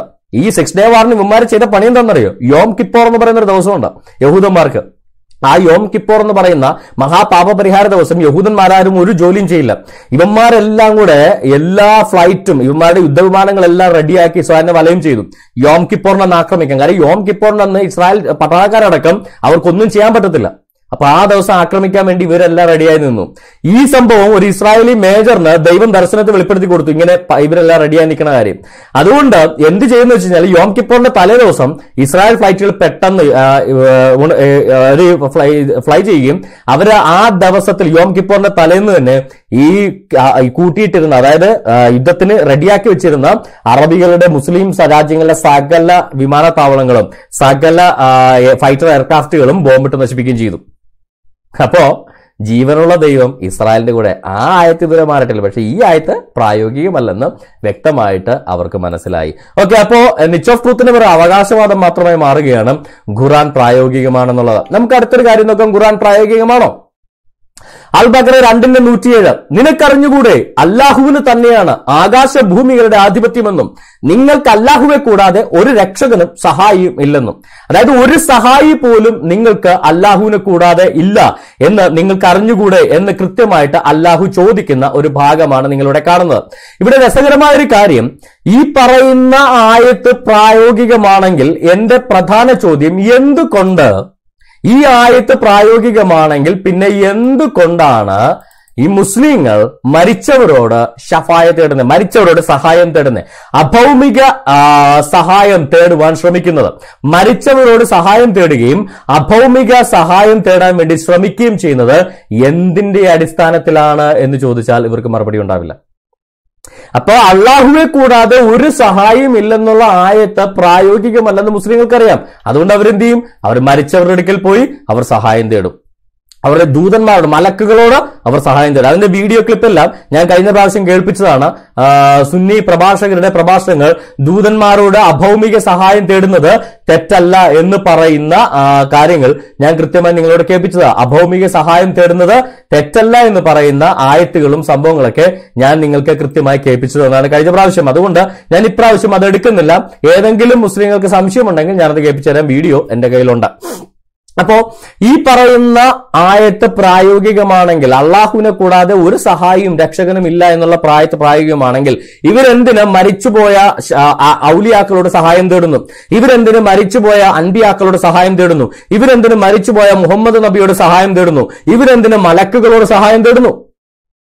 അപ്പോ ഇതൊന്നും പ്രാവർത്തികമല്ലെന്ന് മുസ്ലിങ്ങൾക്കറിയാം. പിന്നെ എന്തിനാണ് ഖുറാൻ പ്രായോഗികമായ ഒരു പുസ്തകമാണെന്ന് പറഞ്ഞുകൊണ്ട് നിങ്ങൾ നടക്കുന്നതിനകത്തുള്ള യുക്തി എന്താണെന്ന് നിങ്ങൾ തന്നെ ഒന്ന് ശ്രദ്ധിച്ചു നോക്കുക. ഓക്കെ നിങ്ങൾക്ക് സ്ലൈഡ് കാണാൻ പറ്റുന്നില്ലെങ്കിൽ ഞാൻ ഇച്ചിരൂടെ എന്നെ ഇച്ചിരി ചെറുതായാലും കുഴപ്പമില്ല. നിങ്ങൾ സ്ലൈഡ് നന്നായിട്ട് കാണുക. ഓക്കെ ഫൈൻ അപ്പൊ നമുക്ക് നോക്കാം. ഇത് ഖുറാൻ പ്രായോഗികമാണോ? ഇനിയും തെളിവുകളുണ്ട്. ഖുറാൻ പ്രായോഗികമാണോ അല്ലേ എന്ന്. അന്നിസ നാലാമത്തെ സൂറ മൂന്നാമത്തെ ആയത്തിങ്ങൾ വായിക്കുക. അനാഥകളുടെ കാര്യത്തിൽ നിങ്ങൾക്ക് നീതി പാലിക്കാനാവില്ലെന്ന് നിങ്ങൾ ഭയപ്പെടുകയാണെങ്കിൽ മറ്റു സ്ത്രീകളിൽ നിന്ന് നിങ്ങൾക്ക് ഇഷ്ടപ്പെടുന്ന രണ്ടോ മൂന്നോ നാലോ പേരെ വിവാഹം ചെയ്യും. അതുകൊണ്ടാണ് മുസ്ലിങ്ങൾക്ക് നാല് പേരെ വരെ കെട്ടാം എന്ന് പറയാനുള്ള കാര്യം. ഈ ആയത്ത് പ്രകാരമാണ് ഇവർ നാല് സ്ത്രീകളെ വരെ കെട്ട് കല്യാണം കഴിക്കുന്നത്. അതായത് അനാഥകളുടെ കാര്യത്തിൽ നിങ്ങൾക്ക് നീതി പാലിക്കാനാവില്ലെന്ന് നിങ്ങൾ ഭയപ്പെടുകയാണെങ്കിൽ നിങ്ങൾക്ക് മറ്റു സ്ത്രീകളിൽ നിന്ന് നിങ്ങൾ ഇഷ്ടപ്പെടുന്ന രണ്ടോ മൂന്നോ നാലോ പേരെ വിവാഹം ചെയ്യുക. ഡി- ഒരു കം- ഒരു ഒരു ഇതുകൂടെ അള്ളാഹു വെക്കുന്നുണ്ട്. എന്നാൽ അവർക്കിടയിൽ നീതി പുലർത്താനാവില്ലെന്ന് നിങ്ങൾ ഭയപ്പെടുകയാണെങ്കിൽ ഒരുവളെ മാത്രം വിവാഹം കഴിക്കുക. അതായത് ഈ നാല് ഭാര്യമാരെ വരെ വിവാഹം കഴിക്കാമല്ലോ. അവർക്കിടയിൽ ആ ഭാര്യമാർക്കിടയിൽ നീതി പുലർത്താൻ പറ്റില്ലെന്നില്ല എന്ന് നിങ്ങൾക്ക് ഭയപ്പെടുകയാണെങ്കിൽ നിങ്ങൾ നാലുപേരെ കെട്ടണ്ട നിങ്ങൾ ഒരാളെ കിട്ടിയാൽ മതി. അതായത് ഒരു പുരുഷന് താൻ നാലുപേരെ വിവാഹം കഴിക്കാൻ അർഹത ഉണ്ടാകുന്ന എപ്പോഴാ? നാല് പേരുടെ ഇടയിൽ നീതി പുലർത്താൻ പറ്റും തുല്യനീതി പുലർത്താൻ പറ്റുമെന്ന് ഉറപ്പുണ്ടെങ്കിൽ നാല് പേരെ കെട്ടാം. തുല്യനീതി പുലർത്താൻ പറ്റില്ല എന്ന് ഉറപ്പില്ലെങ്കിൽ നാല് പേരെ കെട്ടാൻ പാടില്ല. ഇതാണ് ഖുറാന്റെ ഒരു പ്രായോഗികമായ ഇവരെപ്പോഴും ചൂണ്ടിക്കാണിക്കുന്ന ഒരു കാര്യം നമ്മുടെ കഴിഞ്ഞിടയ്ക്ക് നമ്മുടെ ഒരു പ്രമുഖ രാഷ്ട്രീയക്കാരന്റെ മകൻ ഒരു ബീഹാർ യുവതിയുമായിട്ടുള്ള ഒരു അഫയറിന്റെ കേസ് വന്നപ്പോൾ ഒരു ഇസ്ലാം സഹോദരൻ പബ്ലിക്കായിട്ട് ഒരു പ്രശസ്ത വ്യക്തിത്വമാണ്. ഞാൻ പേരുകൾ എടുത്ത് പറയാത്താണ്. ഒരു ഇസ്ലാം പ്രശസ്ത വ്യക്തി പരസ്യമായിട്ട് പറഞ്ഞത് അദ്ദേഹത്തിന് ഇസ്ലാമിലേക്ക് സ്വാഗതം. കാര്യം ഇവിടെ ആകുമ്പോൾ രണ്ട് ഭാര്യമാരെയും ഒരുപോലെ നിയമപ്രകാരം സ്വീകരിക്കാമല്ലോ. അപ്പൊ ഈ പ്രശ്നത്തിന് ഒരു സൊല്യൂഷൻ ഉണ്ടാകുമല്ലോ എന്നാണ് അദ്ദേഹം പറഞ്ഞത്. ആത്മാർത്ഥമെന്ന് പറഞ്ഞായിരിക്കും ഞാൻ അതിനെ ഇത് അപ്പോൾ ഇവരുടെ ആ ഒരു ലോജിക്ക് വരുന്നത് നാല് ഭാര്യ വരെ വരെ ആകാം. നിങ്ങൾ അവരുടെ ഇടയിൽ നീതി പുലർത്തിയാൽ മതി. ഈ ആയത്ത് പ്രാവർത്തികമാണോ പ്രായോഗികമാണോ? അതായത് നാല് ഭാര്യമാർ വരെ കെട്ടാനുള്ള പെർമിഷൻ മുസ്ലിങ്ങൾക്കുള്ളത് അവരുടെ ഇടയിൽ നിങ്ങൾക്ക് നീതി പുലർത്താൻ സാധിക്കുമെങ്കിൽ മാത്രമാണ്. നീതി പുലർത്താൻ സാധിക്കില്ല എന്ന് നിങ്ങൾ ഭയപ്പെട്ടാൽ ഒരുവളെ മാത്രമേ വിവാഹം കഴിക്കാൻ പറ്റുകയുള്ളൂ. എന്ന് നിങ്ങൾ അടുത്തൊരായത്ത് കണ്ടിട്ടുണ്ടോ? ഈ അൽനിസയിൽ തന്നെ അതിന്റെ നൂറ്റി ഇരുപത്തി ഒമ്പതാമത്തെ ആയത്ത് നിങ്ങൾ വായിച്ചിട്ടുണ്ടോ? നിങ്ങൾ എത്ര ആഗ്രഹിച്ചാലും ഭാര്യമാർക്കിടയിൽ തുല്യനീതി പാലിക്കാനാവില്ല. ഈ ആയത്ത് പ്രാ- പ്രായോഗികമാണെങ്കിൽ മറ്റേ ആയത്ത് എങ്ങനെ പ്രായോഗികമാകും? അതായത് എത്ര ആഗ്രഹിച്ചാലും ഭാര്യമാരുടെ ഇടയിൽ തുല്യനീതി മനുഷ്യർക്ക് പാലിക്കാൻ സാധിക്കില്ല എന്ന് അള്ളാഹു പറയുക. എത്ര നിങ്ങൾ ശ്രമിച്ചാലും നിങ്ങൾക്ക് ഭാര്യമാരുടെ ഇടയിൽ തുല്യനീതി പാലിക്കുവാൻ സാധ്യമല്ല. അങ്ങനെ സാധ്യമല്ലെങ്കിൽ അങ്ങനെ സാധ്യമല്ലെങ്കിൽ ഈ നാലു പേരെ കെട്ടുക എന്ന് പറയുന്നത് എങ്ങനെയാ പ്രായോഗികമാകുന്നത്? അപ്പൊ ഈ ഖുറാന്റെ നാലുപേരെ കെട്ടുന്ന ആയത്ത് എങ്ങനെയാണ് നിങ്ങൾക്ക് പ്രായോഗികമാക്കാൻ സാധിക്കുന്നത്? ആദ്യത്തെ ആയത്തിൽ പറഞ്ഞ എന്താ? നിങ്ങൾക്ക് നീതി ഭാര്യമാർക്കിടയിൽ നീതി പുലർത്താനാവില്ല എന്ന് നിങ്ങൾ ഭയപ്പെടുകയാണെങ്കിൽ ഒരുപോലെ മാത്രം വിവാഹം കഴിക്കുക. അടുത്ത ആയത് അള്ളാഹു നൂറ്റി ഇരുപത്തി ഒമ്പതാമത്തെ ആയത്ത് അള്ളാഹു പറയുന്നത് എന്താ? നിങ്ങൾക്ക് ഒരിക്കലും ഭാര്യമാർക്കിടയിൽ നീതി പുലർത്താൻ സാധിക്കില്ല. അപ്പൊ ഈ ഈ അള്ളാഹുവിന്റെ വചനം ഭയപ്പെട്ടാൽ അതായത് ഈ നൂറ്റി ഇരുപത്തി ഒമ്പതാമത്തെ ആയത്ത് പ്രായോഗികമാണെങ്കിൽ അത് അള്ളാഹു പറഞ്ഞ സത്യമായ ആയത്താണെങ്കിൽ ഒരിക്കലും ഭാര്യമാർക്കിടയിൽ നീതി പുലർത്താൻ ഒരു മനുഷ്യനും സാധിക്കില്ല. അപ്പൊ ആ വാക്ക് സത്യവും ആ ആയത്തിന് ഭയപ്പെടുന്ന ഒരു മുസ്ലിമിന് ഒരു ദീനി മുസ്ലിമിന് ഒരിക്കലും നാല് ഭാര്യമാർ കെട്ടാൻ സാധിക്കില്ല. ഒരാളെ മാത്രം കെട്ടാൻ സാധിക്കുകയുള്ളൂ. അപ്പൊ മുഹമ്മദ് അടക്കമുള്ള താഴോട്ടുള്ള സകല ഇസ്ലാം മത വിശ്വാസികളും ബഹുഭാര്യത്വം പുലർന്നുന്ന സകല ഇസ്ലാം മത വിശ്വാസികളും അള്ളാഹുവിന്റെ ഈ ഏത് ആയത്ത് പ്രായോഗികമാക്കിയാണ് കല്യാണം കഴിച്ചതെന്ന് പറയാൻ നിങ്ങൾ ബാധ്യസ്ഥരാണ്. ഇതിലെ നൂറ്റി ഇരുപത്തി ഒമ്പതാമത്തെ ആയത്താണ് പ്രായോഗികമെങ്കിൽ ഭാര്യമാർക്കിടയിൽ തുല്യനീതി പാലിക്കാൻ സാധിക്കില്ലല്ലോ. അപ്പൊ അത് പ്രായോഗികമാണെങ്കിൽ പിന്നെ എന്തിനു നിങ്ങൾ ഒന്നിലധികം കിട്ടി. കാര്യം ഒന്നിലധികം കിട്ടാനുള്ള ഒരു ഒരു ക്ലോസ് എന്താണ്?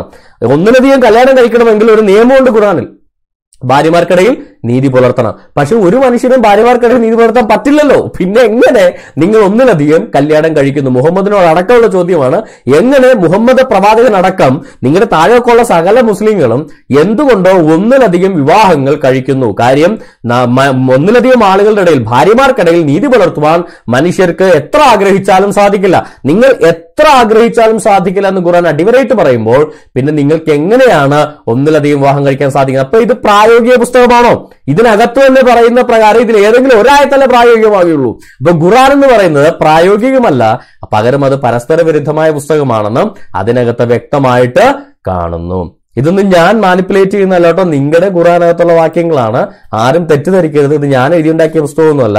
കാര്യം ഇതുപോലത്തെ പുസ്തകം ആർക്ക് എഴുതിയുണ്ടാക്കാൻ പറ്റില്ലെന്നുള്ളതാണല്ലോ ഈ നിച്ച് ഒക്കെ അവകാശവാദം. ഖുറാനെ പോലുള്ള ഒരു ആയത്തെങ്കിലും നിങ്ങൾക്ക് കൊണ്ടുവരാൻ പറ്റുമോ? സാധിക്കില്ല. പിന്നെ ഞാൻ കൊണ്ടുവന്ന ആയത്തല്ലല്ലോ. ഇത് ഖുറാന്റെ ആയത്താണ്.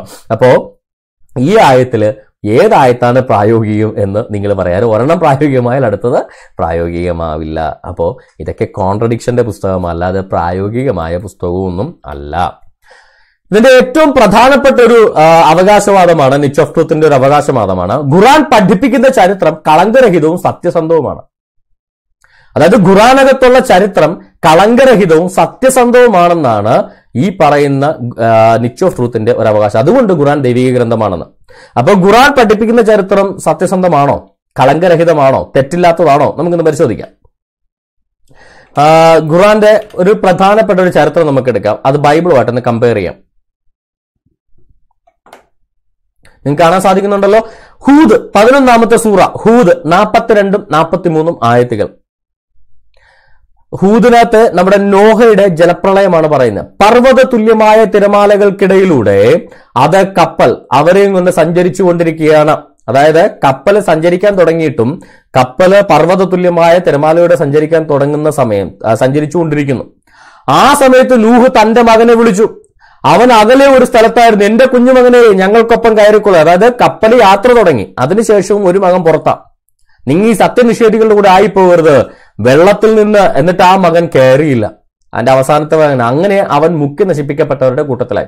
അതായത് ഖുറാൻ മുന്നോട്ട് വെക്കുന്ന ചരിത്രം നോഹയുടെ ജലപ്രളയത്തിങ്കിൽ നോഹയുടെ ഒരു മകൻ നശിച്ചുപോയി എന്നാണ് ഖുറാൻ മുന്നോട്ട് വെക്കുന്ന ചരിത്രം. ആ മകൻ കയറിയില്ല. നോഹയുടെ കുടുംബത്തിലെ എല്ലാവരും രക്ഷപ്പെട്ടില്ല. നോഹയുടെ കുടുംബത്തിലുള്ള ആളുകൾ കയറിയില്ല എന്നാണ് ഖുറാൻ മുന്നോട്ട് വെക്കുന്ന ചരിത്രം. ആ ചരിത്രം സത്യമാണോ എന്ന് ചോദിച്ചാൽ അത് വ്യാജമായ ചരിത്രമാണ് അത് കളങ്കമുള്ള ചരിത്രമാണ് അത് സത്യസന്ധമല്ലാത്ത ചരിത്രമാണെന്ന് ബൈബിൾ തോറ സാക്ഷ്യം വഹിക്കുന്നു. മൂസ അഥവാ മോശ എഴുതിയ തോറ എന്താണ് പറയുന്നത്? ഉൽപ്പത്തി പുസ്തകം ഏഴാം അധ്യായം പതിമൂന്നാമത്തെ വാക്യം. അന്ന് തന്നെ നോഹയും നോഹയുടെ പുത്രന്മാരായ ഷേമും ഹാമും യാഫെത്തും നോഹയുടെ ഭാര്യയും അവന്റെ പുത്രന്മാരുടെ മൂന്ന് ഭാര്യമാരും പെട്ടകത്തിനകത്ത് കടന്നു. അതിനുശേഷമാണ് മഴ പെയ്യുന്നത് പോലും. ഇവിടെ മഴ പെയ്ത് ജലപ്രളയം വന്ന് പട്ടകം കപ്പൽ ഓടിക്കൊണ്ടിരിക്കുമ്പോഴും ഒരു മതം വെള്ളത്തിൽ കിടക്കുക. പക്ഷെ സത്യസന്ധമായ ചരിത്രത്തിൽ ബൈബിളിൽ തോറയിൽ കാണുന്ന ചരിത്രം സത്യസന്ധമായ ചരിത്രം മൂസ അഥവാ മോശ എഴുതിയ സത്യസന്ധമായ ചരിത്രത്തിൽ അമ്രാമിന്റെ മകനായ മോശ എഴുതിയ സത്യസന്ധമായ കളങ്കരഹിതമായ ചരിത്രത്തിൽ എന്താ പറയുന്നത് നോഹയുടെ എല്ലാ പുത്രന്മാരും പുത്രന്മാരായ ചേമും ഹാമും യാഫത്തും അവരുടെ ഭാര്യമാരും നോഹയുടെ ഭാര്യയും എല്ലാവരും എട്ട് പേര് നോഹ നോഹയുടെ ഭാര്യ ഷേം ഹാം യാഫത്ത് അവരുടെ മൂന്ന് ഭാര്യ ഓരോ ഭാര്യമാരെ. അങ്ങനെ മൊത്തം എട്ട് പേര് പെട്ടകത്തിനകത്ത് കടന്നു.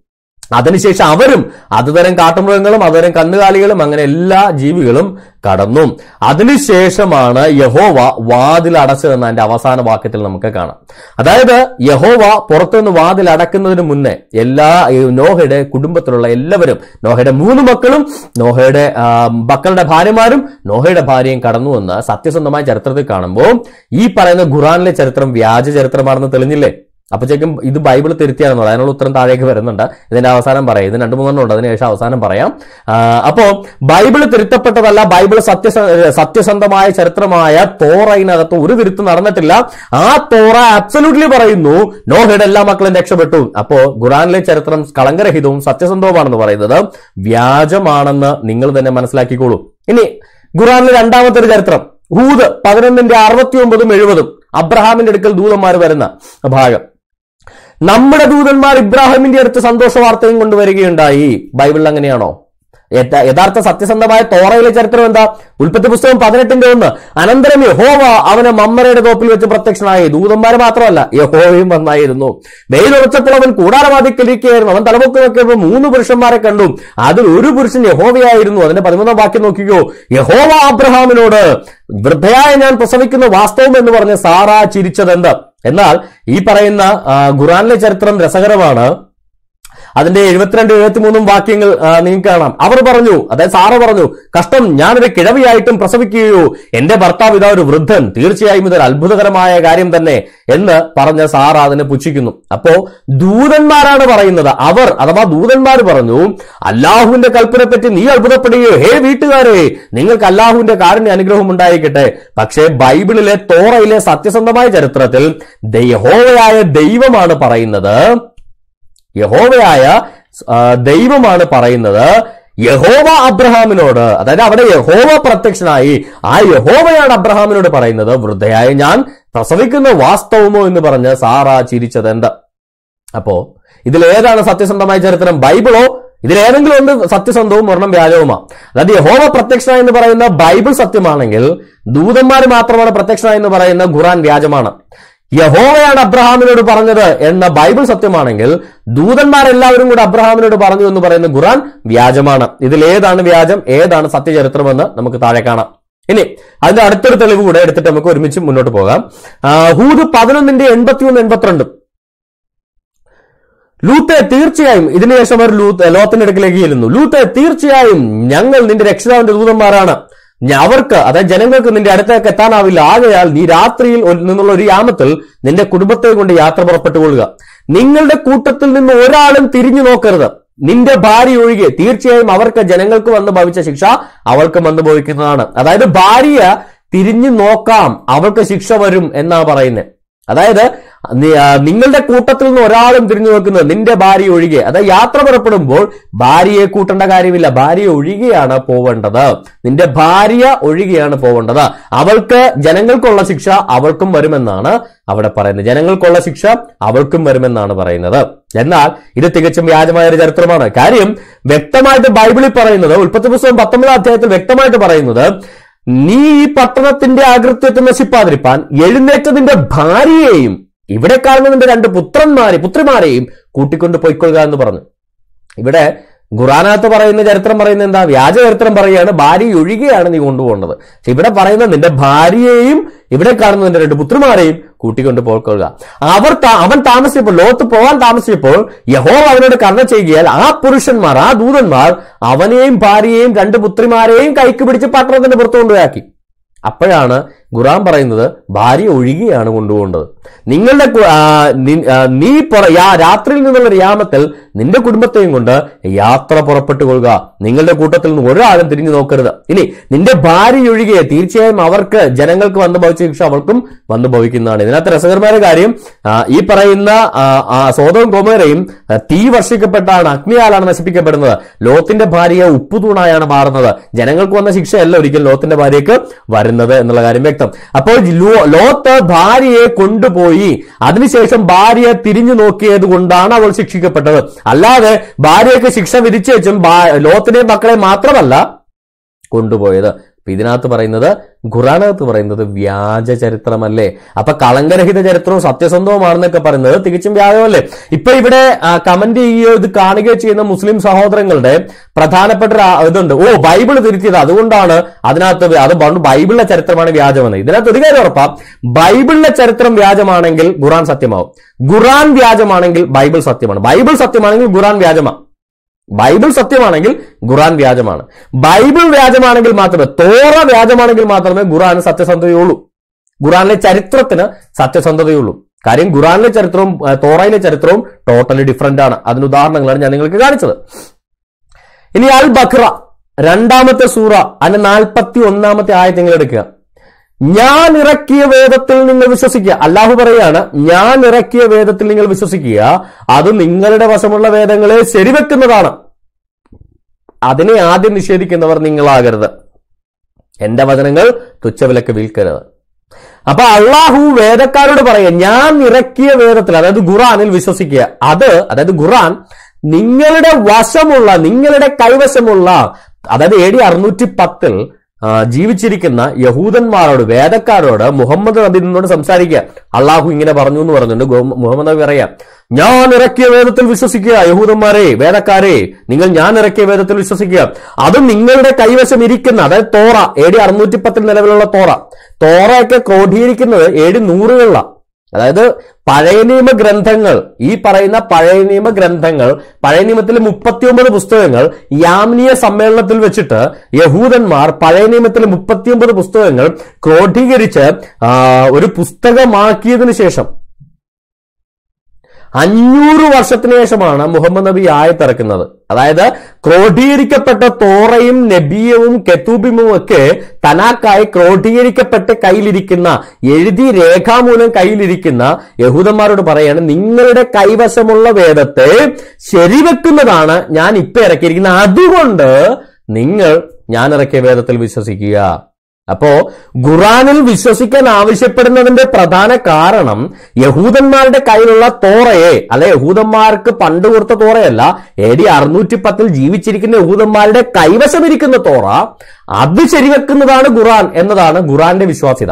അതുകൊണ്ടാണ് യഹൂദന്മാരുടെ ഖുറാൻ വിശ്വസിക്കാൻ ആവശ്യപ്പെടുന്നത് അപ്പോ ഖുറാൻ വിശ്വാസ ഗ്രന്ഥ വിശ്വാസീയമായ ഗ്രന്ഥമാകണമെങ്കിൽ തോറയെ ശരിവെക്കുന്നതായിരിക്കണം. അപ്പൊ തോറയ്ക്ക് ഏത് തോറ? ഇപ്പൊ ഇവർ പറയും ഓ ആ തോറയൊക്കെ തിരുത്തപ്പെട്ടാന്ന്.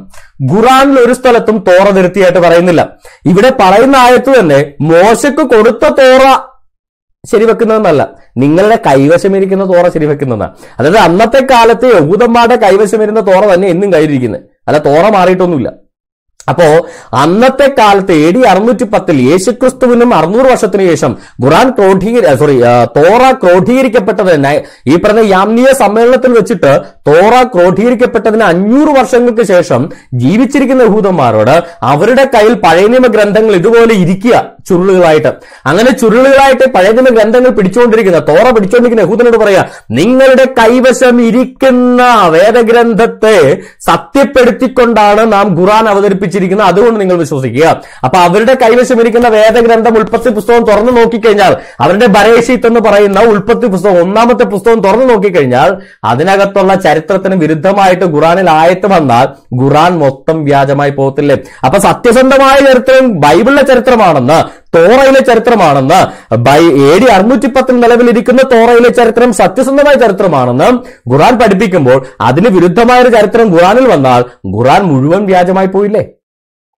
അപ്പോ ഖുറാനിലെ ചരിത്രമല്ല ശരി ബൈബിളിലെ ചരിത്രമാ ശരി. അപ്പൊ ഖുറാൻ പഠിപ്പിക്കുന്ന ചരിത്രം കളങ്കരഹിതവും സത്യസന്ധവുമാണെന്ന് പറയുന്ന നിച്ചോ ഓഫ് ട്രൂത്ത് തികച്ചും വ്യാജമാണ് പ്രചരിപ്പിക്കുന്നത്. കാര്യം ഖുറാൻ പഠിപ്പിക്കുന്ന ചരിത്രം ഖുറാൻ പ്രകാരം പോലും സത്യസന്ധവും കളങ്കരഹിതവുമല്ല വ്യാജ ചരിത്രമാണ് കളങ്കങ്ങളുള്ള ചരിത്രമാണെന്ന് ഖുറാൻ തന്നെ സാക്ഷ്യപ്പെടുത്തുന്നത്. ഇത് ഞാൻ സാക്ഷ്യപ്പെടുത്തുന്നതല്ല. കാര്യം ഖുറാൻ പറയുന്നു എ ഡി അറുന്നൂറ്റി പത്തിൽ യഹൂദന്മാരുടെ കയ്യിലിരിക്കുന്ന ബൈബിൾ സത്യപ്പെടുത്തിയാണ് ഖുറാൻ ഇറക്കിയിരിക്കുന്നത്. അതായത് ഇതിനകത്തുള്ളതിന് വിരുദ്ധമായിട്ടൊന്നും ഖുറാനിൽ പാടില്ല എന്ന് പറഞ്ഞുകൊണ്ടാണ് ഖുറാൻ ഇറക്കുന്നത്. അപ്പൊ എ ഡി അറുന്നൂറ്റി പത്തിൽ നിലവിലുള്ള തോറയിൽ പറയുന്നു അബ്രഹാമിന് യഹോവ പ്രത്യക്ഷനായി. എന്നാൽ ഖുറാനിൽ പിന്നീട് പറയുന്നു അബ്രഹാമിന് യഹോവയല്ല ഈ അള്ളാഹുവിന്റെ രണ്ട് ദൂതന്മാരാണ് പ്രത്യക്ഷമായെന്ന് ഖുറാനിൽ പറയുന്നു. അപ്പോ അത് തികച്ചും വ്യത്യസ്തമായ ഹിസ്റ്ററിയാണ്. യഹോവയാണ് അബ്രഹാമിനോട് പറയുന്നത് നീ സാറ ചിരിച്ചതെന്ത്? നിനക്ക് കുഞ്ഞുണ്ടാവുന്ന നിങ്ങൾ നിങ്ങൾ ചിരിച്ചതെന്തെന്ന് യഹോവ ചോദിക്കുമ്പോൾ ഖുറാനിൽ പറയുന്ന ദൂതന്മാരാണ് ചോദിച്ചെന്ന് ഖുറാനിൽ പറയുന്നു. ഖുറാനിൽ പറയുന്ന പ്രകാരമാണെങ്കിൽ ലോത്തിന്റെ ഭാര്യയെ കൊണ്ടുപോയിട്ടില്ല. ലോത്തിന്റെ ഭാര്യയ്ക്ക് സ്വതം കുമാറക്കുള്ള അതേ ശിക്ഷ ലോത്തിന്റെ ഭാര്യയ്ക്ക് കൊടുത്തു എന്ന് പറയുന്നു. എന്നാൽ ബൈബിൾ പ്രകാരം ലോത്തിനെയും ഭാര്യയെയും രണ്ട് പെൺമക്കളെയും ദൂതന്മാർ കൈക്ക് പിടിച്ച് പുറത്തു കൊണ്ടയാക്കിയെന്ന് വ്യക്തമായിട്ട് നമ്മൾ വായിക്കുന്നു. അതിനുശേഷം പിന്തിരിഞ്ഞു നോക്കിയ ലോത്തിന്റെ ഭാര്യ ഉപ്പുനൂടായി പോയെന്നാണ് ബൈബിൾ പഠിപ്പിക്കുന്നത്. എന്നാൽ ഖുറാൻ അതിന് തികച്ചും വ്യത്യസ്തമായ ഒരു ഡിസ്ക്രിപ്ഷനാണ് തരുന്നത്. ലോത്തിന്റെ ഭാര്യ തള്ളപ്പെട്ടവരുടെ ഗണത്തിൽ പെടുത്തിയെന്ന് ദൂതന്മാർ തുടക്കത്തിൽ പറയുന്നു. അതുകൊണ്ട് തന്നെ ദൂതന്മാർ അവരെ പിടിച്ചുകൊണ്ട് പോയിട്ടില്ല. അവർക്കുള്ള ശിക്ഷ ദൂതന്മാർ അവിടെ വെച്ച് തന്നെയാണ് അവിടെ പ്രഖ്യാപിക്കുന്നത്? നിങ്ങൾക്ക് മുന്നേ കാണാം. അതുകൊണ്ട് നിന്റെ ഭാര്യ ഒഴികെയാണ് നിങ്ങൾ കുടുംബത്തെ കൊണ്ട് യാത്ര പുറപ്പെടേണ്ടത്. നിന്റെ ഭാര്യ ഒഴികെ തീർച്ചയായും അവർക്ക് ജനങ്ങൾക്ക് വന്നുഭവിച്ച ശിക്ഷ അവർക്കും വന്നുഭവിക്കും. ജനങ്ങൾക്ക് വന്നുഭവിച്ച ശിക്ഷ നിന്റെ ഭാര്യയ്ക്ക് വന്നുഭവിക്കും. അതുകൊണ്ട് ഭാര്യ ഒഴികെ നീ പോവുക എന്ന് പറയുന്ന ഖുറാനാണ് സത്യം വ്യക്തമായിട്ട് ബൈബിളിൽ പറയുന്ന പോലെ ഭാര്യയെയും മക്കളെയും ഒരുമിച്ച ലോത്തിനെയും ഒരുമിച്ച് കൈക്ക് പിടിച്ച ദൂതന്മാർ പുറത്തു കൊണ്ടുപോയി എന്ന് പറയുന്നതാണോ സത്യം? അപ്പൊ ബൈബിൾ പറയുന്ന ചരിത്രം സത്യമാണെന്നും തോറ ശരിയായ വേദഗ്രന്ഥമാണെന്നും യഹൂദന്മാരുടെ കയ്യിൽ എ ഡി അറുന്നൂറ്റി പത്തിലുള്ള തോറ തിരുത്തപ്പെട്ടതല്ല അത് സത്യസന്ധമായ ഗ്രന്ഥമാണെന്നും ശരിവെക്കുന്ന ഒരു പുസ്തകമാണ് നിങ്ങളുടെ കയ്യിരിക്കുന്ന ഖുറാൻ അപ്പോൾ ആ ചരിത്രത്തിൽ പറയുകയാണ് ഖുറാനിലെ ചരിത്രം കളങ്കമുള്ളതാണ് ഖുറാനിലെ ചരിത്രം സത്യസന്ധമല്ല എന്ന്. അപ്പൊ നിച്ച് ഓഫ് ട്രൂത്തുകാരുടെ വാദഗതിയിൽ പൊട്ടുന്നു. ഇത് ഒരു ആയത്ത് മാത്രമല്ല കേട്ടോ. സൂറ അൽ നിസയിൽ നാൽപ്പത്തി ഏഴാമത്തെ ആയത്ത് നാലാമത്തെ സൂറയുടെ നാൽപ്പത്തി ഏഴാമത്തെ ആയത്തിൽ അത് പറയുന്നുണ്ട്. ഹേ വേദഗ്രന്ഥം നൽകപ്പെട്ടവരെ നിങ്ങളുടെ പക്കലുള്ള വേദത്തെ സത്യപ്പെടുത്തിക്കൊണ്ട് നാം അവതരിപ്പിച്ചതിൽ നിങ്ങൾ വിശ്വസിക്കുവിൻ. യഹൂദന്മാരെ ക്രിസ്ത്യാനികളെ അതാണ് വേദഗ്രന്ഥം നൽകപ്പെട്ടത്. രണ്ട് കൂട്ടർക്കാണല്ലോ വേദഗ്രന്ഥം കൊടുത്തിട്ടുള്ളത്. യഹൂദന്മാരെ ക്രിസ്ത്യാനികളെ നിങ്ങളുടെ പക്കലുള്ള വേദത്തെ സത്യപ്പെടുത്തിക്കൊണ്ട് അല്ല നിങ്ങളുടെ പൂർവികന്മാർക്ക് ഞാൻ കൊടുത്ത വേദത്തെ സത്യപ്പെടുത്തിക്കൊണ്ടല്ല നിങ്ങളുടെ പക്കൽ നിങ്ങളുടെ കൈവശം ഇരിക്കുന്ന എ ഡി അറുന്നൂറ്റി പത്തിൽ മുഹമ്മദ് ഇന്നുകൊണ്ട് യഹൂദന്മാരോട് പറയാം യഹൂദന്മാരെ വേദഗ്രന്ഥം നൽകപ്പെട്ടവരെ നിങ്ങളുടെ പക്കൽ ഇരിക്കുന്ന പുസ്തകം ഉണ്ടല്ലോ നിങ്ങളുടെ പക്കൽ ഇരിക്കുന്ന വേദം നിങ്ങളുടെ കൈവശം ഇരിക്കുന്ന വേദം അതിനെ സത്യപ്പെടുത്തിക്കൊണ്ടാണ് നാം ഖുറാൻ അവതരിപ്പിച്ചിരിക്കുന്നത്. അപ്പോ അതിനകത്ത് പറയുകയാണ് ഒരു ചരിത്രം പറയുകയാണ് അതിന് വിരുദ്ധമായ ചരിത്രം ഖുറാനിൽ പറഞ്ഞാൽ ഖുറാനിലെ ചരിത്രം ആരോ ഒന്നുകിൽ ഖുറാൻ സത്യമായിരുന്നു ആരോ തിരുത്തി. ആ ഖുറാനാണ് ഇന്ന് തിരുത്തപ്പെട്ട ഖുറാനാണ് ഇവർ വിശ്വസിക്കുന്നത്. അല്ലെങ്കിൽ ഖുറാൻ വ്യാജഗ്രന്ഥമാണ്. എന്തായാലും ശരി ഇന്ന് കയ്യിലിരിക്കുന്ന ഖുറാൻ പഠിപ്പിക്കുന്ന ചരിത്രം കളങ്കമുള്ളതാണ് സത്യസന്ധമല്ല എന്ന് വ്യക്തമായിട്ട് തെളിയുന്നു. അപ്പോൾ ഇവരുടെ ഇത്തരം അവകാശവാദങ്ങൾ വളരെ വിചിത്രവും ബാലിശവുമാണെന്ന് നമുക്ക് വ്യക്തമായിട്ട് മനസ്സിലായി. ഞാൻ വിശ്വസിക്കുന്നു. ഓക്കെ നമുക്ക് ആറാമത്തെ ഇവരുടെ ആറാമത്തെ ഒരു പോയിന്റ് ആണ്. അതിന്റെ സാഹിത്യം നിസ്തുലമാണ്. അതുകൊണ്ട് ഇതങ്ങ് വിശ്വസിക്കാം. അതിന്റെ സാഹിത്യം നിസ്തുലമാണ് അതുകൊണ്ട് വിശ്വസിക്കുക. ഞാൻ ചോദിച്ചോട്ടെ? അങ്ങനെ സാഹിത്യം നിസ്തുലമായിട്ട് വിശ്വസിക്കണമെങ്കിൽ ഒരു- പുസ്തകത്തിന്റെ സാഹിത്യം വളരെ വലിയ വലിയ സാഹിത്യ ഗ്രന്ഥമാണെങ്കിൽ അതിന് വിശ്വസിക്കണമെങ്കിൽ സാഹിത്യത്തിനുള്ള നോബൽ പ്രൈസ് കിട്ടിയ പുസ്തകങ്ങളെല്ലാം വേദഗ്രന്ഥമാവും. അതെന്തൊരു അബദ്ധമായ. ഒരു പുസ്തകത്തിന്റെ സാഹിത്യം നോക്കിയാൽ അത് വേദഗ്രന്ഥമാണെന്ന് തീരുമാനിക്കുന്നതെങ്കിൽ നമ്മളുടെ ബുക്കർ മാൻ ബുക്കർ പ്രൈസ് കിട്ടിയ God of Small Things Arundhati റോയുടെ Booker പ്രൈസിന് അർഹമായ ഗോഡ് ഓഫ് സ്മോൾ തിങ്സ് ലോകം മുഴുവൻ അപ്രീഷിയേറ്റ് ചെയ്ത ഒരു പുസ്തകമാണ് ഗോഡ് ഓഫ് സ്മോൾ തിങ്സ്. അതും വേദഗ്രന്ഥോ അതിലെ സാഹിത്യം നിസ്തുലമാണ്. ഇനി നമ്മുടെ രവീന്ദ്രനാഥ ടാഗോറിന്റെ ഗീതാഞ്ജലി നോബൽ പ്രൈസ് കിട്ടിയ കൃതിയാണ് ഗീതാഞ്ജലി. ആ സാഹിത്യത്തിനുള്ള നോബൽ പ്രൈസ് രവീന്ദ്രനാഥ ടാഗോറിന് കിട്ടിയത് ആ ഗീതാഞ്ജലി നിസ്തുലമാണ്. അതിലെ സാഹിത്യമൊക്കെ കേട്ടിട്ടുണ്ടോ നിങ്ങൾ അതിലെ സാഹിത്യമൊക്കെ വെച്ച് നോക്കുമ്പോണ്ടല്ലോ. ഞാൻ അതിന്റെ മലയാള പരിഭാഷ നമ്മുടെ ജി ശങ്കരക്കുറിപ്പ് അതിന്റെ മലയാള പരിഭാഷ നിർവഹിച്ചിട്ടുണ്ട്. അതിന്റെ സ്വത്വം ഒട്ടും ചോരാതെ മലയാളത്തിലേക്ക് ട്രാൻസ്ലേറ്റ് ചെയ്തിട്ട് തന്നെ അതിന്റെ ഒരു ഭംഗി ആ സാഹിത്യത്തിന്റെ ഒരു എന്താ പറയാ നിസ്തുലത നമുക്ക് കാണാം. നമ്മുടെ ജി ശങ്കരക്കുറിപ്പ് ട്രാൻസ്ലേറ്റ് ചെയ്ത ഗീതാഞ്ജലിയുടെ മലയാള പരിഭാഷയിൽ നമ്മൾ ഇങ്ങനെ വായിക്കുന്നത് ജ്ഞാനറിവിയിലെ ഭവാന്റെ മോഹന ഗാനാലാപന ശൈലി നിബൃതം ഞാനത് കേൾപ്പൂ സതതം നിതാന്ത വിസ്മയശാലി മഹാ ദൈവത്തിന്റെ ഗാനാലാപന ശൈലി.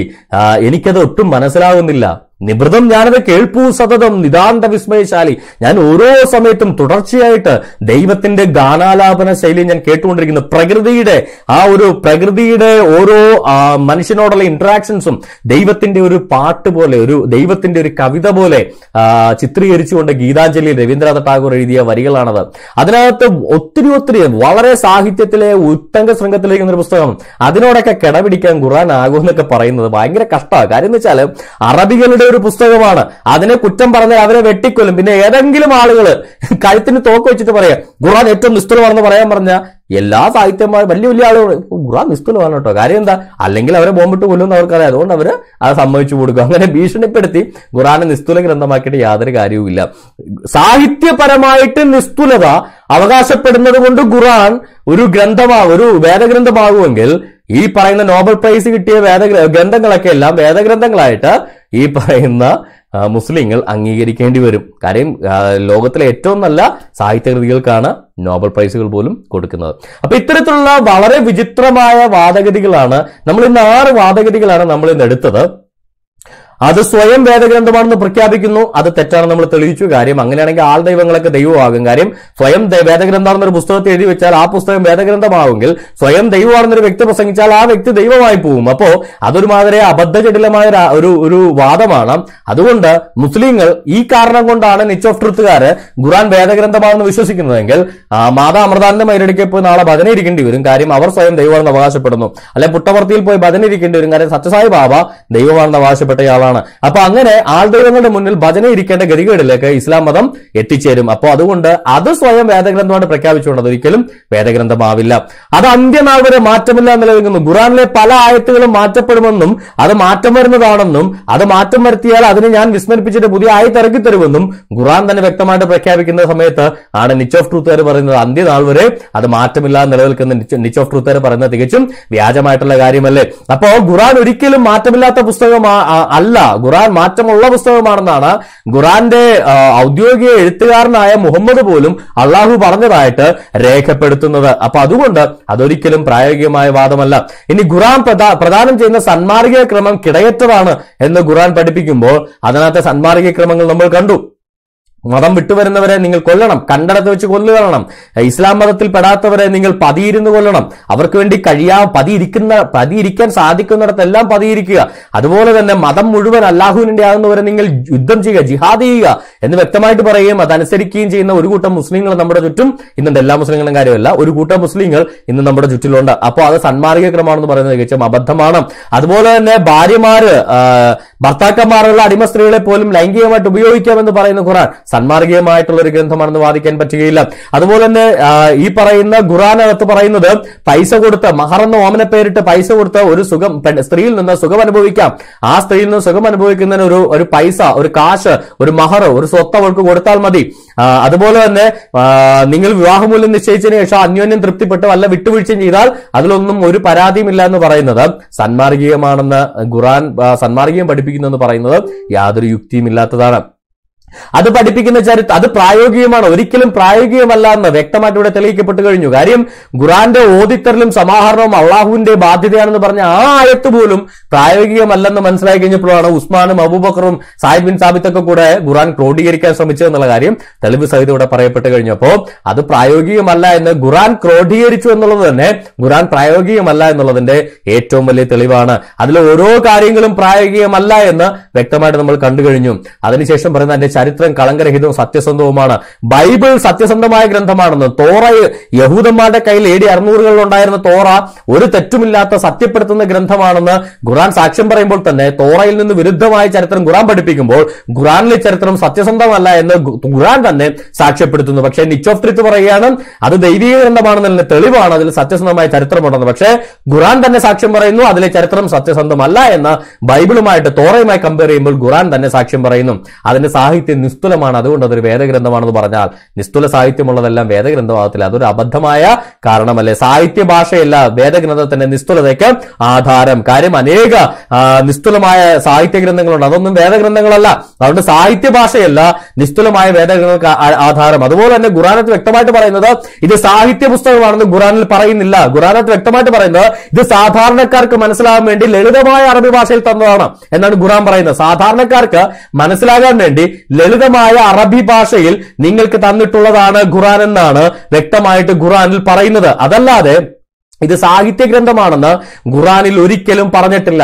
അപ്പോൾ അത്തരത്തിലുള്ള ആശയം പഠിപ്പിക്കുന്ന നിച്ച് ഓഫ് ട്രൂത്തിന് ഖുറാൻ അറിയാത്തത് കൊണ്ടാണ് എന്നുള്ളത് കൊണ്ടാണ് നമുക്ക് വ്യക്തമാകും കാര്യം സാധാരണക്കാർക്ക് ലളിതമായ ഭാഷയിൽ വിവരിക്കപ്പെട്ടിട്ടുള്ള ഗ്രന്ഥമാണ് ഖുറാൻ എന്ന് വ്യക്തമായിട്ട് ഖുറാനിൽ പറയുന്നത് സൂറ സുമർ മുപ്പത്തി ഒമ്പതിന് ഇരുപത്തി അതും കൂടെ പറഞ്ഞിട്ട് ഞാനിവിടെ നിങ്ങളുടെ പ്രോഗ്രാം ഞാനിവിടെ വൈൻഡപ്പ് ചെയ്യുകയാണ് സൂറ സുമർ മുപ്പത്തി ഒമ്പതാമത്തെ സൂറ ഞാൻ നിങ്ങൾക്ക് ഖുറാൻ ഇവിടെ ഡിസ്പ്ലേ ചെയ്യാം. ഓക്കെ. നിങ്ങൾക്ക് ഖുറാൻ ഒന്ന് ഡിസ്പ്ലേ ചെയ്തിട്ട് ഞാനത് കാണിക്കാം. ക്ഷമിക്കണം. പരിശുദ്ധ ഖുറാൻ പരിഭാഷ മാത്രം. ഓക്കെ നിങ്ങൾക്ക് സൂറ സുമറ മുപ്പത്തി ഒമ്പതാമത്തെ സൂറ അതിന്റെ എന്റെ ഓർമ്മ ശരിയാണ് എന്റെ നോട്ട് ശരിയാ നോട്ട് ശരിയാണ് എന്തായാലും. സാഹിത്യ ഭാഷ അതിന്റെ മുപ്പത്തൊമ്പതിന്റെ ഇരുപത്തി എട്ടാമത്തെ സൂറ. ഓക്കെ? മുപ്പത്തൊമ്പതിന്റെ ഇരുപത്തി എട്ടാമത്തെ സൂറ ഞാൻ നിങ്ങൾക്ക് വേണ്ടി എടുക്കാം. അതെ ഒട്ടും വക്രതയില്ലാത്ത തീർച്ചയായും ഇരുപത്തിയേഴ് മുതൽ വായിച്ചോ. തീർച്ചയായും ഈ ഖുറാനിൽ ജനങ്ങൾക്ക് എഴുതാം എല്ലാ വിധത്തിലുള്ള ഉപമകൾ വിവരിച്ചിട്ടുണ്ട്. അവർ ആലോചിച്ച് മനസ്സിലാക്കുവാൻ വേണ്ടി.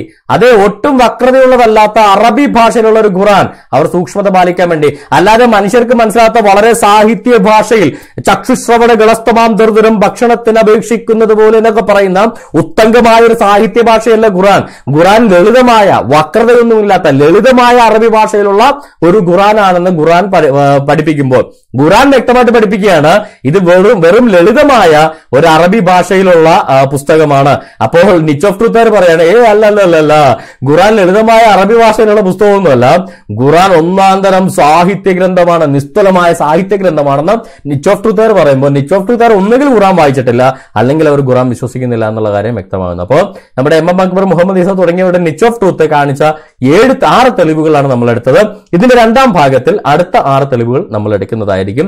അപ്പൊ ഈ ആറ് തെളിവുകൾ കൊണ്ട് ഖുറാൻ ദൈവിക ഗ്രന്ഥമാണെന്ന് അവർ പറഞ്ഞെങ്കിൽ ഈ ആറ് തെളിവുകൾ കൊണ്ട് ഖുറാൻ ദൈവിക ഗ്രന്ഥമല്ല എന്ന് ഇവിടെ വ്യക്തമായിട്ട് തെളിയുന്നു. അപ്പോ നമ്മൾ ഇന്ന് കേട്ട എല്ലാ കാര്യങ്ങളും നിങ്ങൾക്ക് മനസ്സിലായെന്ന് വിശ്വസിക്കട്ടെ. അപ്പൊ ഖുറാൻ അല്ല യഥാർത്ഥ വേദഗ്രന്ഥം തൗറാത്ത് തൗറാത്ത് ഇഞ്ചിയിൽ അതായത് നമ്മുടെ സുവിശേഷങ്ങളും തൗറാത്തും നബിയവും കെത്തൂബിയും ഒക്കെ മോശയടക്കമുള്ള പ്രവാചകന്മാർ അപ്പോസ്തലന്മാർ കൊടുത്ത വേദഗ്രന്ഥങ്ങൾ അത് വായിച്ച് രക്ഷിക്കപ്പെട്ട കർത്താവായി യേശു ക്രിസ്തുവിൽ വിശ്വസിച്ച് രക്ഷ നേടിയാൽ നിങ്ങൾക്ക് രക്ഷപ്പെടുവാൻ സാധിക്കും. അല്ലാതെ ഖുറാൻ പഠിപ്പിക്കുന്ന പോലെ കൊല്ലാനും കൊല്ലിക്കാനും ഒക്കെ പഠിപ്പിച്ചിട്ട് യാതൊരു കാര്യം നിന്റെ വാൾ ഉറയിലിടുക എന്ന് കൽപ്പിച്ച യേശു വാൾ എടുക്കുന്നവൻ വാളാൽ നശിക്കുമെന്ന് കൽപ്പിച്ച യേശു ക്രിസ്തുവാണ് വലുത്. നിങ്ങളുടെ ശത്രുക്കൾ എല്ലാവരെയും നിങ്ങൾ പതിയിരുന്ന് കൊല്ലാൻ പറഞ്ഞ ഖുറാനാണോ സത്യ സന്മാർഗ പുസ്തകം എന്ന് നിങ്ങൾ ചിന്തിച്ചു നോക്കുക. വാളെടുക്കുന്നവൻ വാളാൽ നിന്റെ ഇടത് കാരണം അടിക്കുന്നതിന് വലത് കരണം കാണിച്ചു കൊടുക്കാൻ പറഞ്ഞ ഖുറാനാണോ സത്യം? അതോ ഈ പറയുന്ന പോലുള്ള പുസ്തകങ്ങളാണോ സത്യം നിങ്ങൾ ചിന്തിച്ചു നോക്കുക. യഹോവയായ ദൈവം പഴയ നിമ കാലഘട്ടത്തിൽ പല ഷാർപ്പായിട്ടുള്ള വളരെ അന്നത്തെ ബാർബേറിയൻ യുഗത്തിന് അനുയോജ്യമായിട്ടുള്ള പല കൽപ്പനകളും യഹൂദന്മാർക്ക് കൊടുത്തെങ്കിൽ അതേ യാഹുവ എന്ന ദൈവം മനുഷ്യനായി ഇറങ്ങിവെന്നും കാലഘട്ടത്തിനനുസൃതമായിട്ട് പുതിയ കാലഘട്ടത്തിനനുസൃതമായിട്ട് ജനങ്ങൾക്ക് പുതിയ ഉദ്ബോധനങ്ങളും നൽകിയിട്ടുണ്ട്. അപ്പോ അത്തരത്തിൽ വ്യക്തമായിട്ട് ബൈബിളിൽ യാഹുവ എന്ന് പറയുന്ന യഹോവ എന്ന് പറയുന്ന ദൈവം മനുഷ്യനെ പ്രത്യക്ഷമായി വ്യക്തമായിട്ട് പുതിയ കാലഘട്ടത്തിന് വേണ്ടി പഠിപ്പിച്ച. അല്ല ഖുറാനെ പോലെ അന്ന് പറഞ്ഞ് ഇന്നും നിലനിൽക്കാണ് ഒരു മാറ്റവും ഇല്ല.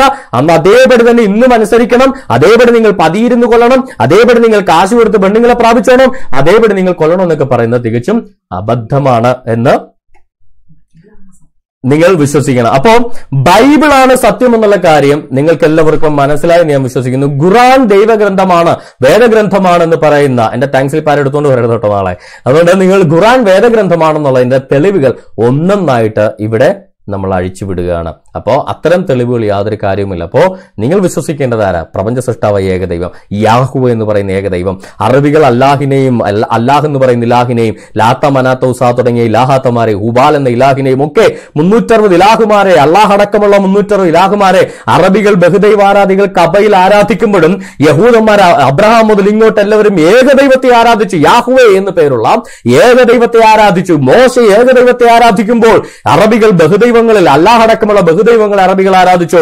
അവിടെ ദാവി ഏകദൈവത്തെ ആരാധിച്ചപ്പോൾ അല്ലാഹ് അടക്കമുള്ള ബഹുദൈവങ്ങളെ അറബികൾ ആരാധിച്ചു. യഹൂദന്മാർ എ ഡി അറുന്നൂറുകളിൽ ഏകദൈവത്തെ ആരാധിച്ചപ്പോൾ യാഹുവൻ ഏകദൈവത്തെ ആരാധിച്ചപ്പോൾ മുഹമ്മദിന് മുമ്പുള്ള മുസ്ലിങ്ങളും അറബ് മുഹമ്മദിന് മുമ്പുള്ള അറബികൾ അല്ലാഹ് അടക്കമുള്ള അനേക ബഹുദൈവങ്ങളെ ആരാധിച്ചു. അപ്പൊ നിങ്ങളുടെ ചോയ്സ് ഇതാണ് ബഹുദൈവങ്ങളിൽ ഒരാളെ ആരാധിക്കണമോ? ഏകദൈവമായി യാഹുവെ ആരാധിക്കണമോ? തീരുമാനം നിങ്ങളുടെയാണ്. നിങ്ങൾ ഓരോരുത്തരുടെയുമാണ്. സത്യവേദ ഗ്രന്ഥത്തെ വിശ്വസിക്കണമോ? ഇതുപോലുള്ള നിച്ച് ഓഫ് ട്രൂത്ത് പ്രൊമോട്ട് ചെയ്യുന്ന ഖുറാനെ വിശ്വസിക്കണമോ? നിങ്ങളുടെ ചോയ്സ് ആണ്. അപ്പോൾ നമ്മൾക്ക് വേണ്ടി മരിച്ചടക്കപ്പെട്ട് ഉയർത്തെഴുന്നേറ്റ കർത്താവ് യേശു ക്രിസ്തുവിനെ യഹോശ്വ ഹമ്മഷയെ യാഹുവെ യേശുവ രക്ഷകനായ യാഹുവേ എന്ന് പറയുന്ന രക്ഷകനെ എന്ന് പറയുന്ന അഭിഷിക്തനെ എന്ന് പറയുന്ന മഷിഹയെ നിങ്ങൾ വിശ്വസിക്കുക രക്ഷ നേടുക. ദൈവം നിങ്ങളോടുകൂടി ഇരിക്കുമാറാട്ടെ എന്നെ കേട്ട എല്ലാവർക്കും കർത്താവ് യേശു ക്രിസ്തുവിന്റെ നാമത്തിൽ നന്ദിയും സ്നേഹവന്ദനത്തെയും അറിയിക്കുന്നു. അപ്പോ ആ, ഇത്രയും നേരം എല്ലാം കേട്ട എല്ലാവർക്കും നന്ദി. ദൈവം നിങ്ങളെ ധാരാളമായി അനുഗ്രഹിക്കട്ടെ. കേട്ട വചനം നിങ്ങളുടെ ആത്മാവിന്റെ രക്ഷയ്ക്കായിട്ട് യൂസ് ചെയ്യുക. അല്ലാതെ ചുമ്മാ തർക്കിക്കാൻ യൂസ് ചെയ്യരുത്. പിന്നെ ഇതൊരു വൺ വേ ടോക്ക് ഒന്നുമല്ല. ഇസ്ലാം മത വിശ്വാസികൾ എപ്പോ വന്നാലും എന്റെ സ്കൈപ്പ് ലൈൻ എപ്പോഴും ഓപ്പൺ ആണ്. ആർക്ക് വേണമെങ്കിലും ജോയിൻ ചെയ്യാനുള്ള അവസരമുണ്ട്.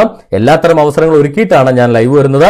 എന്റെ Skype I D Seban one nine eight six S E B A N one nine eight six one എന്ന സ്കൈപ്പ് ഐ ഡിയിൽ ഞാൻ ഈ ലൈവ് എപ്പോൾ നടത്തിയാലും ഞാൻ അവൈലബിൾ ആണ്. ഞാൻ എപ്പോഴും പറയുന്നതാണ്. ഇന്ന് തുടക്കത്തിൽ പറയാൻ വിട്ടുപോയിട്ടുണ്ടാവാം. എന്നാൽ ഈ ഐ ഡിയിൽ ഞാൻ അവൈലബിൾ ആണ്. നിങ്ങൾക്ക് ചർച്ച ചെയ്യണമെങ്കിൽ ഓപ്പൺ ആയിട്ട് ചർച്ച ചെയ്യാൻ വേണ്ടി ഞാൻ ഇവിടെ റെഡിയാണ് അല്ലെങ്കിൽ മുൻകൂട്ടി ഫിക്സ് ചെയ്ത് ചർച്ച നടത്തണമെങ്കിൽ നിങ്ങൾക്ക് അതിനുള്ള അവസരങ്ങളുണ്ട്. അതുപോലെ ചർച്ചകൾ ഇനി വരുന്നുണ്ട്. ഡിസംബർ ഒന്നാം തീയതി ഫഹദ് പുറയിൽ എന്ന് പറയുന്ന ഇസ്ലാം മതവിശ്വാസിയുമായിട്ട് ചർച്ചയുണ്ട്. ചോദ്യോത്തരവേളയുണ്ട്. നിങ്ങൾ എല്ലാവരും കാണുക. ഡിസംബർ ഒന്നാം തീയതി എട്ട് മണിയോടുകൂടെ ഞായറാഴ്ച ഡിസംബർ ഒന്ന് ഞായറാഴ്ച അടുത്ത ഞായറാഴ്ച ചോദ്യോത്തരവേളയുണ്ട്. അതോടൊപ്പം തന്നെ അടുത്ത വെള്ളിയാഴ്ച പ്രപഞ്ച സൃഷ്ടി യുക്തിവാദികൾ പറയുന്ന പോലെയാണോ ബൈബിൾ പറയുന്ന പോലെയാണോ പ്രപഞ്ച സൃഷ്ടി എന്ന വിഷയത്തെ ആസ്പദമാക്കിയ ഒരു പ്രോഗ്രാം ഉണ്ട്. അപ്പൊ എല്ലാ പ്രോഗ്രാമും നിങ്ങൾ കാണുക. ദൈവം നിങ്ങൾ എല്ലാവരും ധാരാളമായി 拜拜。